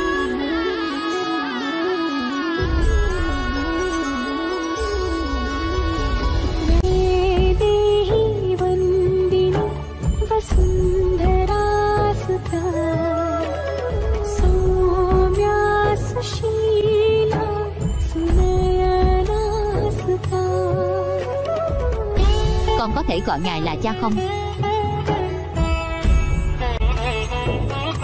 Tất nhiên rồi. Cha quên con rồi sao? Ta luôn nhớ đến con, Rahula.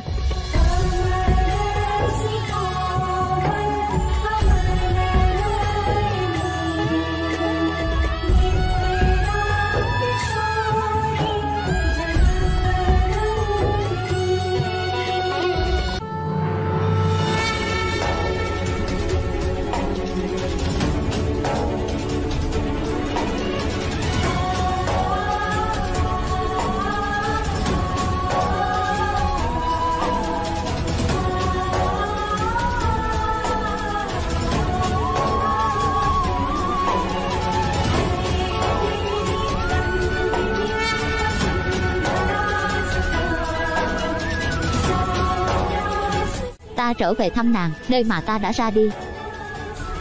Mở mắt ra đi Yasodhara.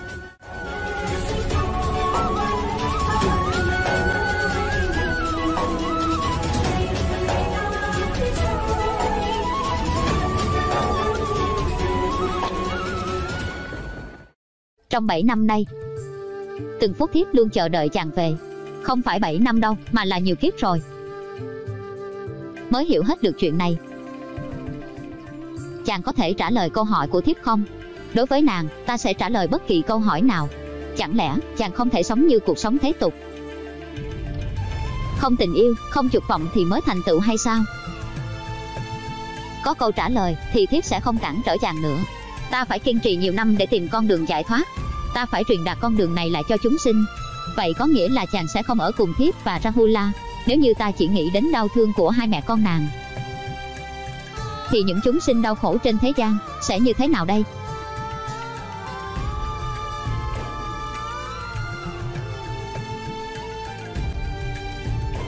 Trái tim nàng thật là vĩ đại. Chúng ta đã trải qua nhiều kiếp, và ngay trong kiếp này là nhờ vào lòng kiên trì của nàng, nhờ có sự nhẫn nại của nàng, ta mới giác ngộ. Ta đã nợ nàng quá nhiều rồi.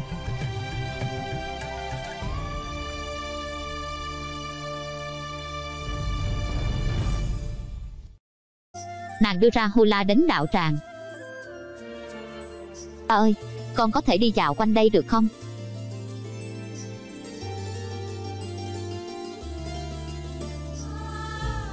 Cha sodara Nàng từ bỏ hết mọi thú vui, Sống đời đạm bạc là vì ta sao? Thiếp là một nửa của ngài.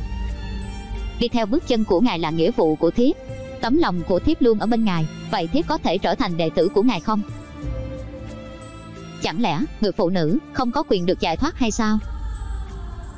Tại sao thiếp lại không thể trở thành một tỳ kheo ni? Phụ nữ vẫn có thể đạt được chánh quả, nhưng đây chưa phải là lúc nàng xuất gia. Vì hiện giờ, tâm của nàng vẫn chưa buông bỏ được.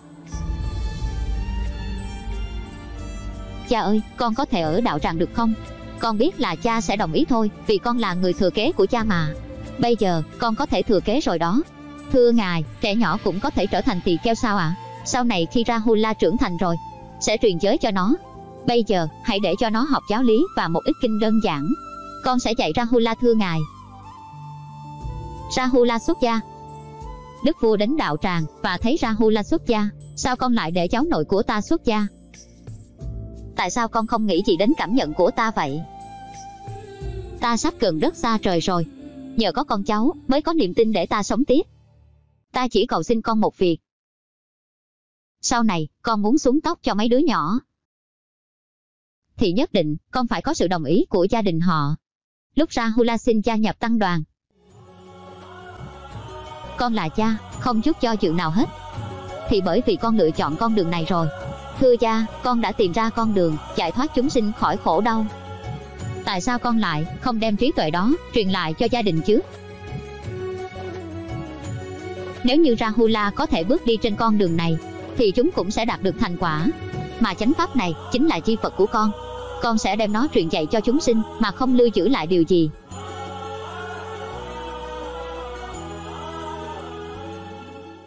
Đức vua băng hà ngai vàng được trao cho vương tử. Đức vua ra đi, để lại sự buồn đau cho người ở lại. Con có hiểu được nỗi khổ của ta không? Con trai thì đi tu, cháu nội cũng xuất gia. Chỉ còn mỗi bệ hạ là chỗ dựa duy nhất vậy mà ông ấy lại bỏ ta lại một mình. Ta không biết phải đi về đâu. Có lẽ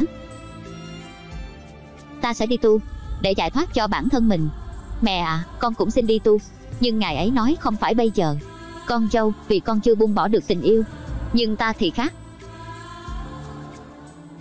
Hôm nay, ta sẽ cùng với những người phụ nữ khác, sẽ mặc đồ thô, đi chân trần đến đạo tràng, để chứng minh cho đức phật thấy, phụ nữ cũng có thể sống đơn giản tu hạnh Ta tin rằng chỉ cần chúng ta có lòng kiên trì thật sự, thành tâm muốn tu hành, nhất định Đức Phật sẽ nhận chúng ta.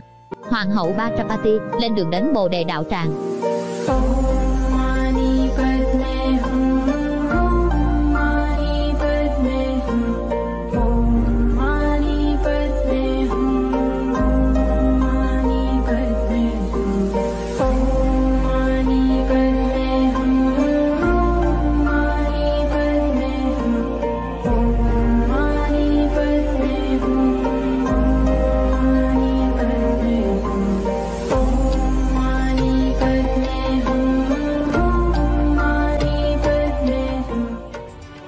Hậu đã lặn lội đường xa, buông bỏ tất cả, đến đây bằng đôi chân trần, vì muốn chứng minh nữ giới không thua kém nam giới. Lòng thành kính của hoàng hậu, rồi cũng được đền đáp. Cuối cùng, ngài đã truyền giới cho hoàng hậu, và bà chính là người phụ nữ đầu tiên trong lịch sử trở thành tỳ kheo ni. Sau khi biết tin mẹ chồng nàng xuất gia, nàng rất đổi vui mừng. Thiếm à, mẹ chồng của con được trở thành tỳ kheo ni rồi. Vậy là ước muốn của con sắp trở thành sự thật rồi. Con cũng có thể xuất gia, được sống cùng Rahula. Hay lắm, hay lắm cha Sodara. Em cũng bắt chước những người phụ nữ đó. Em có biết suy nghĩ không cha Sodara? Ở đây vàng bạc châu báu không thiếu thứ gì, còn ở đó không có gì hết. Nhưng có thể nhìn thấy Đức Phật. Em nghĩ rằng có thể gia nhập tăng đoàn rồi là có thể khiến Phật thay đổi tâm ý hay sao? Tôi không bao giờ nghĩ như vậy. Giờ đây, tôi không còn vương vấn tình cảm gì nữa. Em nên biết là ở đó Buddha đã trở thành thầy, chứ không phải là một người chồng. Nếu như đến đó thì em không được ăn ngon, không được tôn trọng. Nếu trở thành tỳ Kelly, em có được cuộc sống xa hoa như thế này không? Những thú vui của anh thực ra chỉ toàn là bất hạnh. Dùng của cải để che lấp sự chán nản của bản thân. Trái tim của chồng em mới chính là sự dơ bẩn. Trong lòng của ngài ấy là tình yêu vô tận, tình thương dành cho tất cả vạn vật, tất cả chúng sinh. Mối liên hệ sâu sắc giữa chúng tôi, anh sẽ không bao giờ hiểu được. Sự tương thông của chúng tôi, đời đời, kiếp kiếp vẫn luôn luôn gắn liền với nhau. Vì thế mà chúng tôi hiểu nhau một cách sâu sắc như vậy. Dù tôi không làm tỳ kheo đi đi nữa, thì tôi cũng cảm nhận được hiện tại ngài ấy đang ở đâu trên thế gian này. Tôi muốn học giáo pháp của ngài ấy. Tôi muốn được tôn ngài ấy làm thầy, tôi muốn được xuất gia để giải thoát. Anh biết không anh họ, hôn nhân của chúng tôi không giống như người thường. Một cuộc hôn nhân vượt ra ngoài giới hạn của tự nhiên, khoảng cách không bao giờ ảnh hưởng đến nó hết. Nàng Yasodhara chân hoa lên Đức Phật.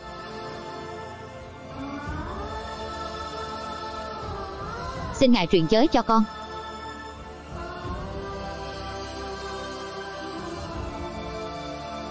Con sẽ đạt đến sự an nhiên khi tu hạnh, nhưng phải buông bỏ hết những chuyện đã qua. Buông bỏ Siddhartha, ở nơi này không có ai là Siddhartha. Tất cả những chuyện trước đây giống như giấc mộng đã qua rồi. Chỉ có ngày hôm nay. Trước mặt con không phải là thái tử, mà là một bậc giác ngộ. Tâm con không còn vương vấn điều gì nữa. Con muốn giác ngộ và bình yên. Xin Ngài hãy truyền dạy giáo pháp cho con. Trong tâm không còn dao động, nàng Yasodhara từ đó xuất gia. Người đời nói rằng nàng và Rahula tu hành đạt đến quả vị A-la-hán. Trong làng có một cô gái đem lòng yêu vị tỳ kheo anan, nên đã mời thầy đến nhà dùng cơm. Được chứ, hôm nay tôi sẽ nhận sự cúng dường của cô. Cô ấy mời người món cà ri đậu lăng cay, nhưng thầy A Nan không hề biết rằng cô gái ấy đã trộn bùa chú vào món cà ri đậu lăng cay. Khi ăn bùa chú vào trong bụng, thứ làm say lòng người bắt đầu phát huy tác dụng. Nhưng lúc bùa chú còn tác dụng, cô ấy trao vòng hoa cho thầy ấy. Một khi trao vòng hoa, thì điều đó có nghĩa là thầy A Nan sẽ trở thành chồng của cô ấy. Người đột nhiên tỉnh dậy, trấn tĩnh bản thân, người nhớ về lời dạy của Đức Phật. Một khi chúng ta bị niềm vui của dục vọng cám dỗ, phải lập tức dập tắt ngọn lửa dục vọng. Nếu như gặp tình huống này, thì phải làm sao thưa ngài? Vào lúc ấy, con hãy tập trung vào hơi thở của con. Hít thở sâu, đưa chúng ta quay trở về trạng thái tĩnh lặng, không có gì dao động được tâm.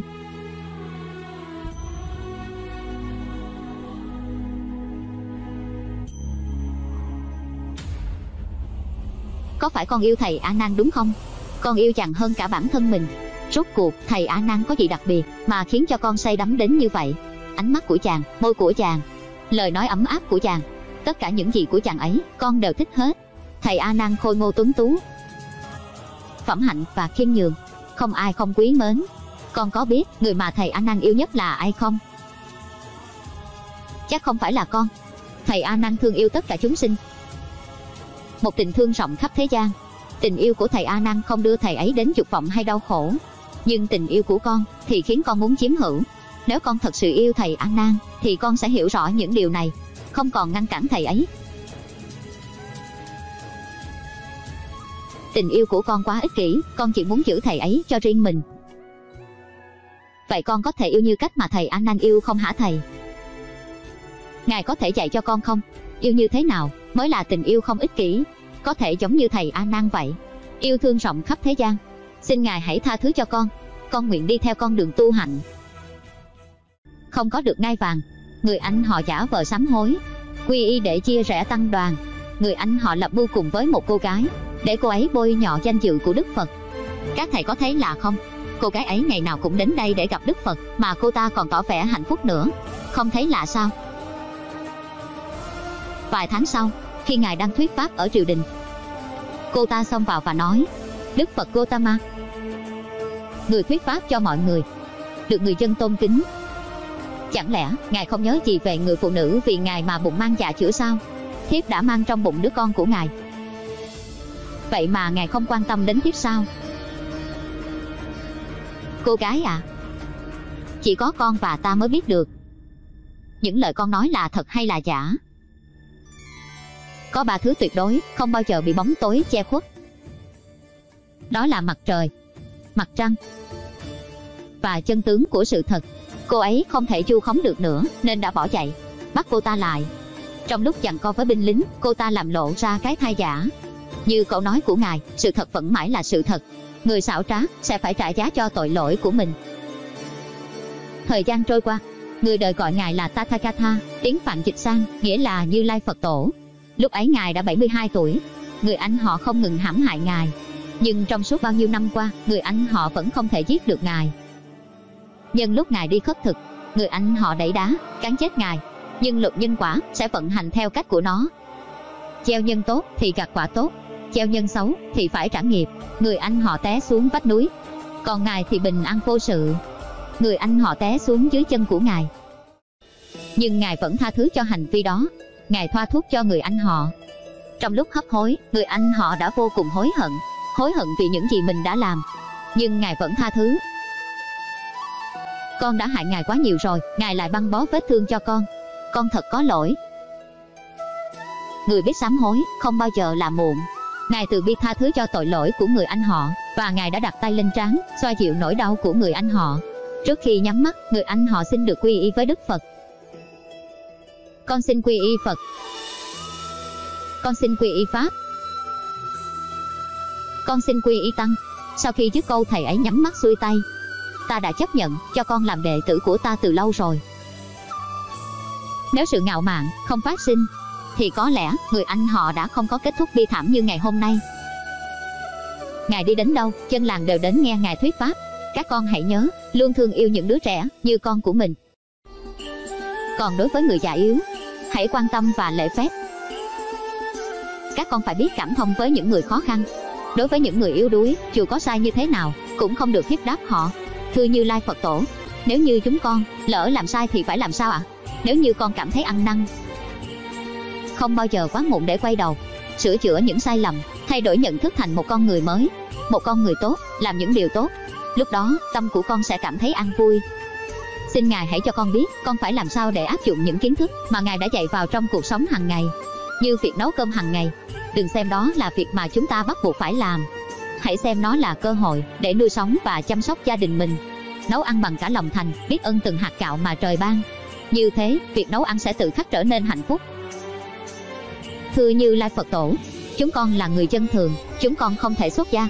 Xin ngài dạy cho vợ chồng con biết những điều cần làm khi trở thành phật tử tại gia. Tránh xa rượu chè và cờ bạc. Khi có duyên với sự thịnh vượng, thì hãy giúp đỡ người khốn khó hãy dân hoa và cúng dường. Điều đó sẽ khiến lòng từ bi của các vị tự khắc muốn cho đi, và bản tính ích kỷ sẽ dần ít đi. Ngồi thiền tịnh tâm để chúng ta rèn luyện tâm nóng nảy. Những điều đó đơn giản, nhưng làm thì thật là khó. Ta chỉ ra con đường, thành tựu hay không là do các con tự chứng lấy. Hãy trở thành một con người tốt. Dù nghèo hèn hay giàu sang, thì cuộc sống luôn có sự khổ đau. Chỉ khác là nỗi khổ của mỗi người không ai giống nhau. Các tỳ keo và tỳ keo ni từ hôm nay, các con phải gánh trên vai trách nhiệm cao quý, là truyền bá giáo lý đến cho tất cả chúng sinh. Các con phải luôn tinh tấn để được giải thoát. Vì ta, như lai phật tổ, sẽ nhập đại niết bàn, tại rừng cây sa la. Trước khi niết bàn, ngài muốn được dùng cơm cúng dường của vợ chồng thợ rèn. Vì vợ chồng họ đã xin ngài ở lại dùng cơm. Trước lời mời cúng dường thành kính, ngài hoan hỷ chấp nhận bữa cơm cúng dường được chuẩn bị kỹ lưỡng cho ngài và tăng đoàn vợ chồng ông ấy tự tay lên rừng hái nấm để có thể chân lên phật một bát súp nấm thơm ngon Nhưng một điều mà hai vợ chồng không ngờ tới, đó là trong số nấm mà họ hái, có một cây nấm có độc. Sự vô tình, nhưng lại là sự sắp xếp của số phận. Ngài biết trong món bát súp này có độc, nên đã từ chối không ăn. Trước tấm lòng thành kính của người cúng dường, Ngài đã từ bi, chấp nhận. Người cúng dường thành tâm chân bát súp nấm, mà không biết rằng bát ấy có chứa một loài nấm độc. Vì Ngài muốn hóa độ cho hai vợ chồng ngoan đạo. Ngài muốn họ nhận được phúc đức khi họ đưa Ngài đến Niết Bàn. Đây chính là một trong hai lần cúng dường đặc biệt nhất trong cuộc đời ta. Một là lần cúng dường trước khi thành đạo, đó là bát cháo sữa. Hai là lần này, bát canh nấm. Bát cháo sữa đưa ta đến sự giác ngộ. Bát súp nấm đưa ta đến Niết Bàn. Niết Bàn không phải là cái chết, mà là trút bỏ cơ thể phàm trần, trở thành một bản thể tối cao, một nguồn năng lượng bất diệt. Các tỳ kheo thân thương, các con hãy nhớ kỹ lời dạy cuối cùng của ta. Các con thay ta duy trì chánh pháp. Hãy truyền bá và gìn giữ chánh pháp. Hãy tự mình tu tập, tự mình chứng quả. Đừng dựa dẫm vào ai khác, vì mọi thứ đều là vô thường. Các con phải ăn trú, chịu cho mọi vật có đổi thay. Tinh tấn không giải đãi, vĩnh viễn không bao giờ bỏ cuộc.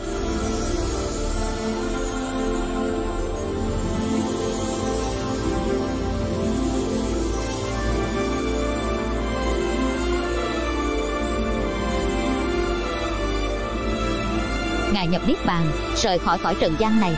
Nhưng lời dạy của Ngài vẫn luôn còn mãi. Ngài cho chúng con nhận biết, trong cái gì thấy được sự bất diệt. Trong buồn đau, thấy được hoan hỷ. Trong tàn bạo thấy được tình người. Trong sự xấu xa thấy điều tốt đẹp. Vô minh đã che lấp đi tầm nhìn của con người. Nếu chúng ta phá tan màn ảo tưởng đó, thì mọi khổ đau, mọi âu lo tự nhiên sẽ không còn. Trong lòng chúng ta, phát tâm từ bi và tha thứ, hãy giữ mãi ngọn lửa chân lý, hỡi đấng giác ngộ chúng con xin ghi nhớ những lời dạy của ngài mặt trời của trí tuệ đã lặn, không còn gì để lại ngoài cội bồ đề, nơi cung cấp cho nguồn sống tâm linh, nơi đây được gọi là bồ đề đạo tràng. Nơi đây ghi nhớ những thánh tích ngài để lại, vào ngày lễ phật đản, nơi đây được trang trí bằng vòng hoa, bằng lòng thành của người hành hương. Bên cạnh đó, tại ni đoàn phật giáo, đã thỉnh tượng phật bà Yasodhara, để ghi nhớ công ơn của người trước ngài thành đạo.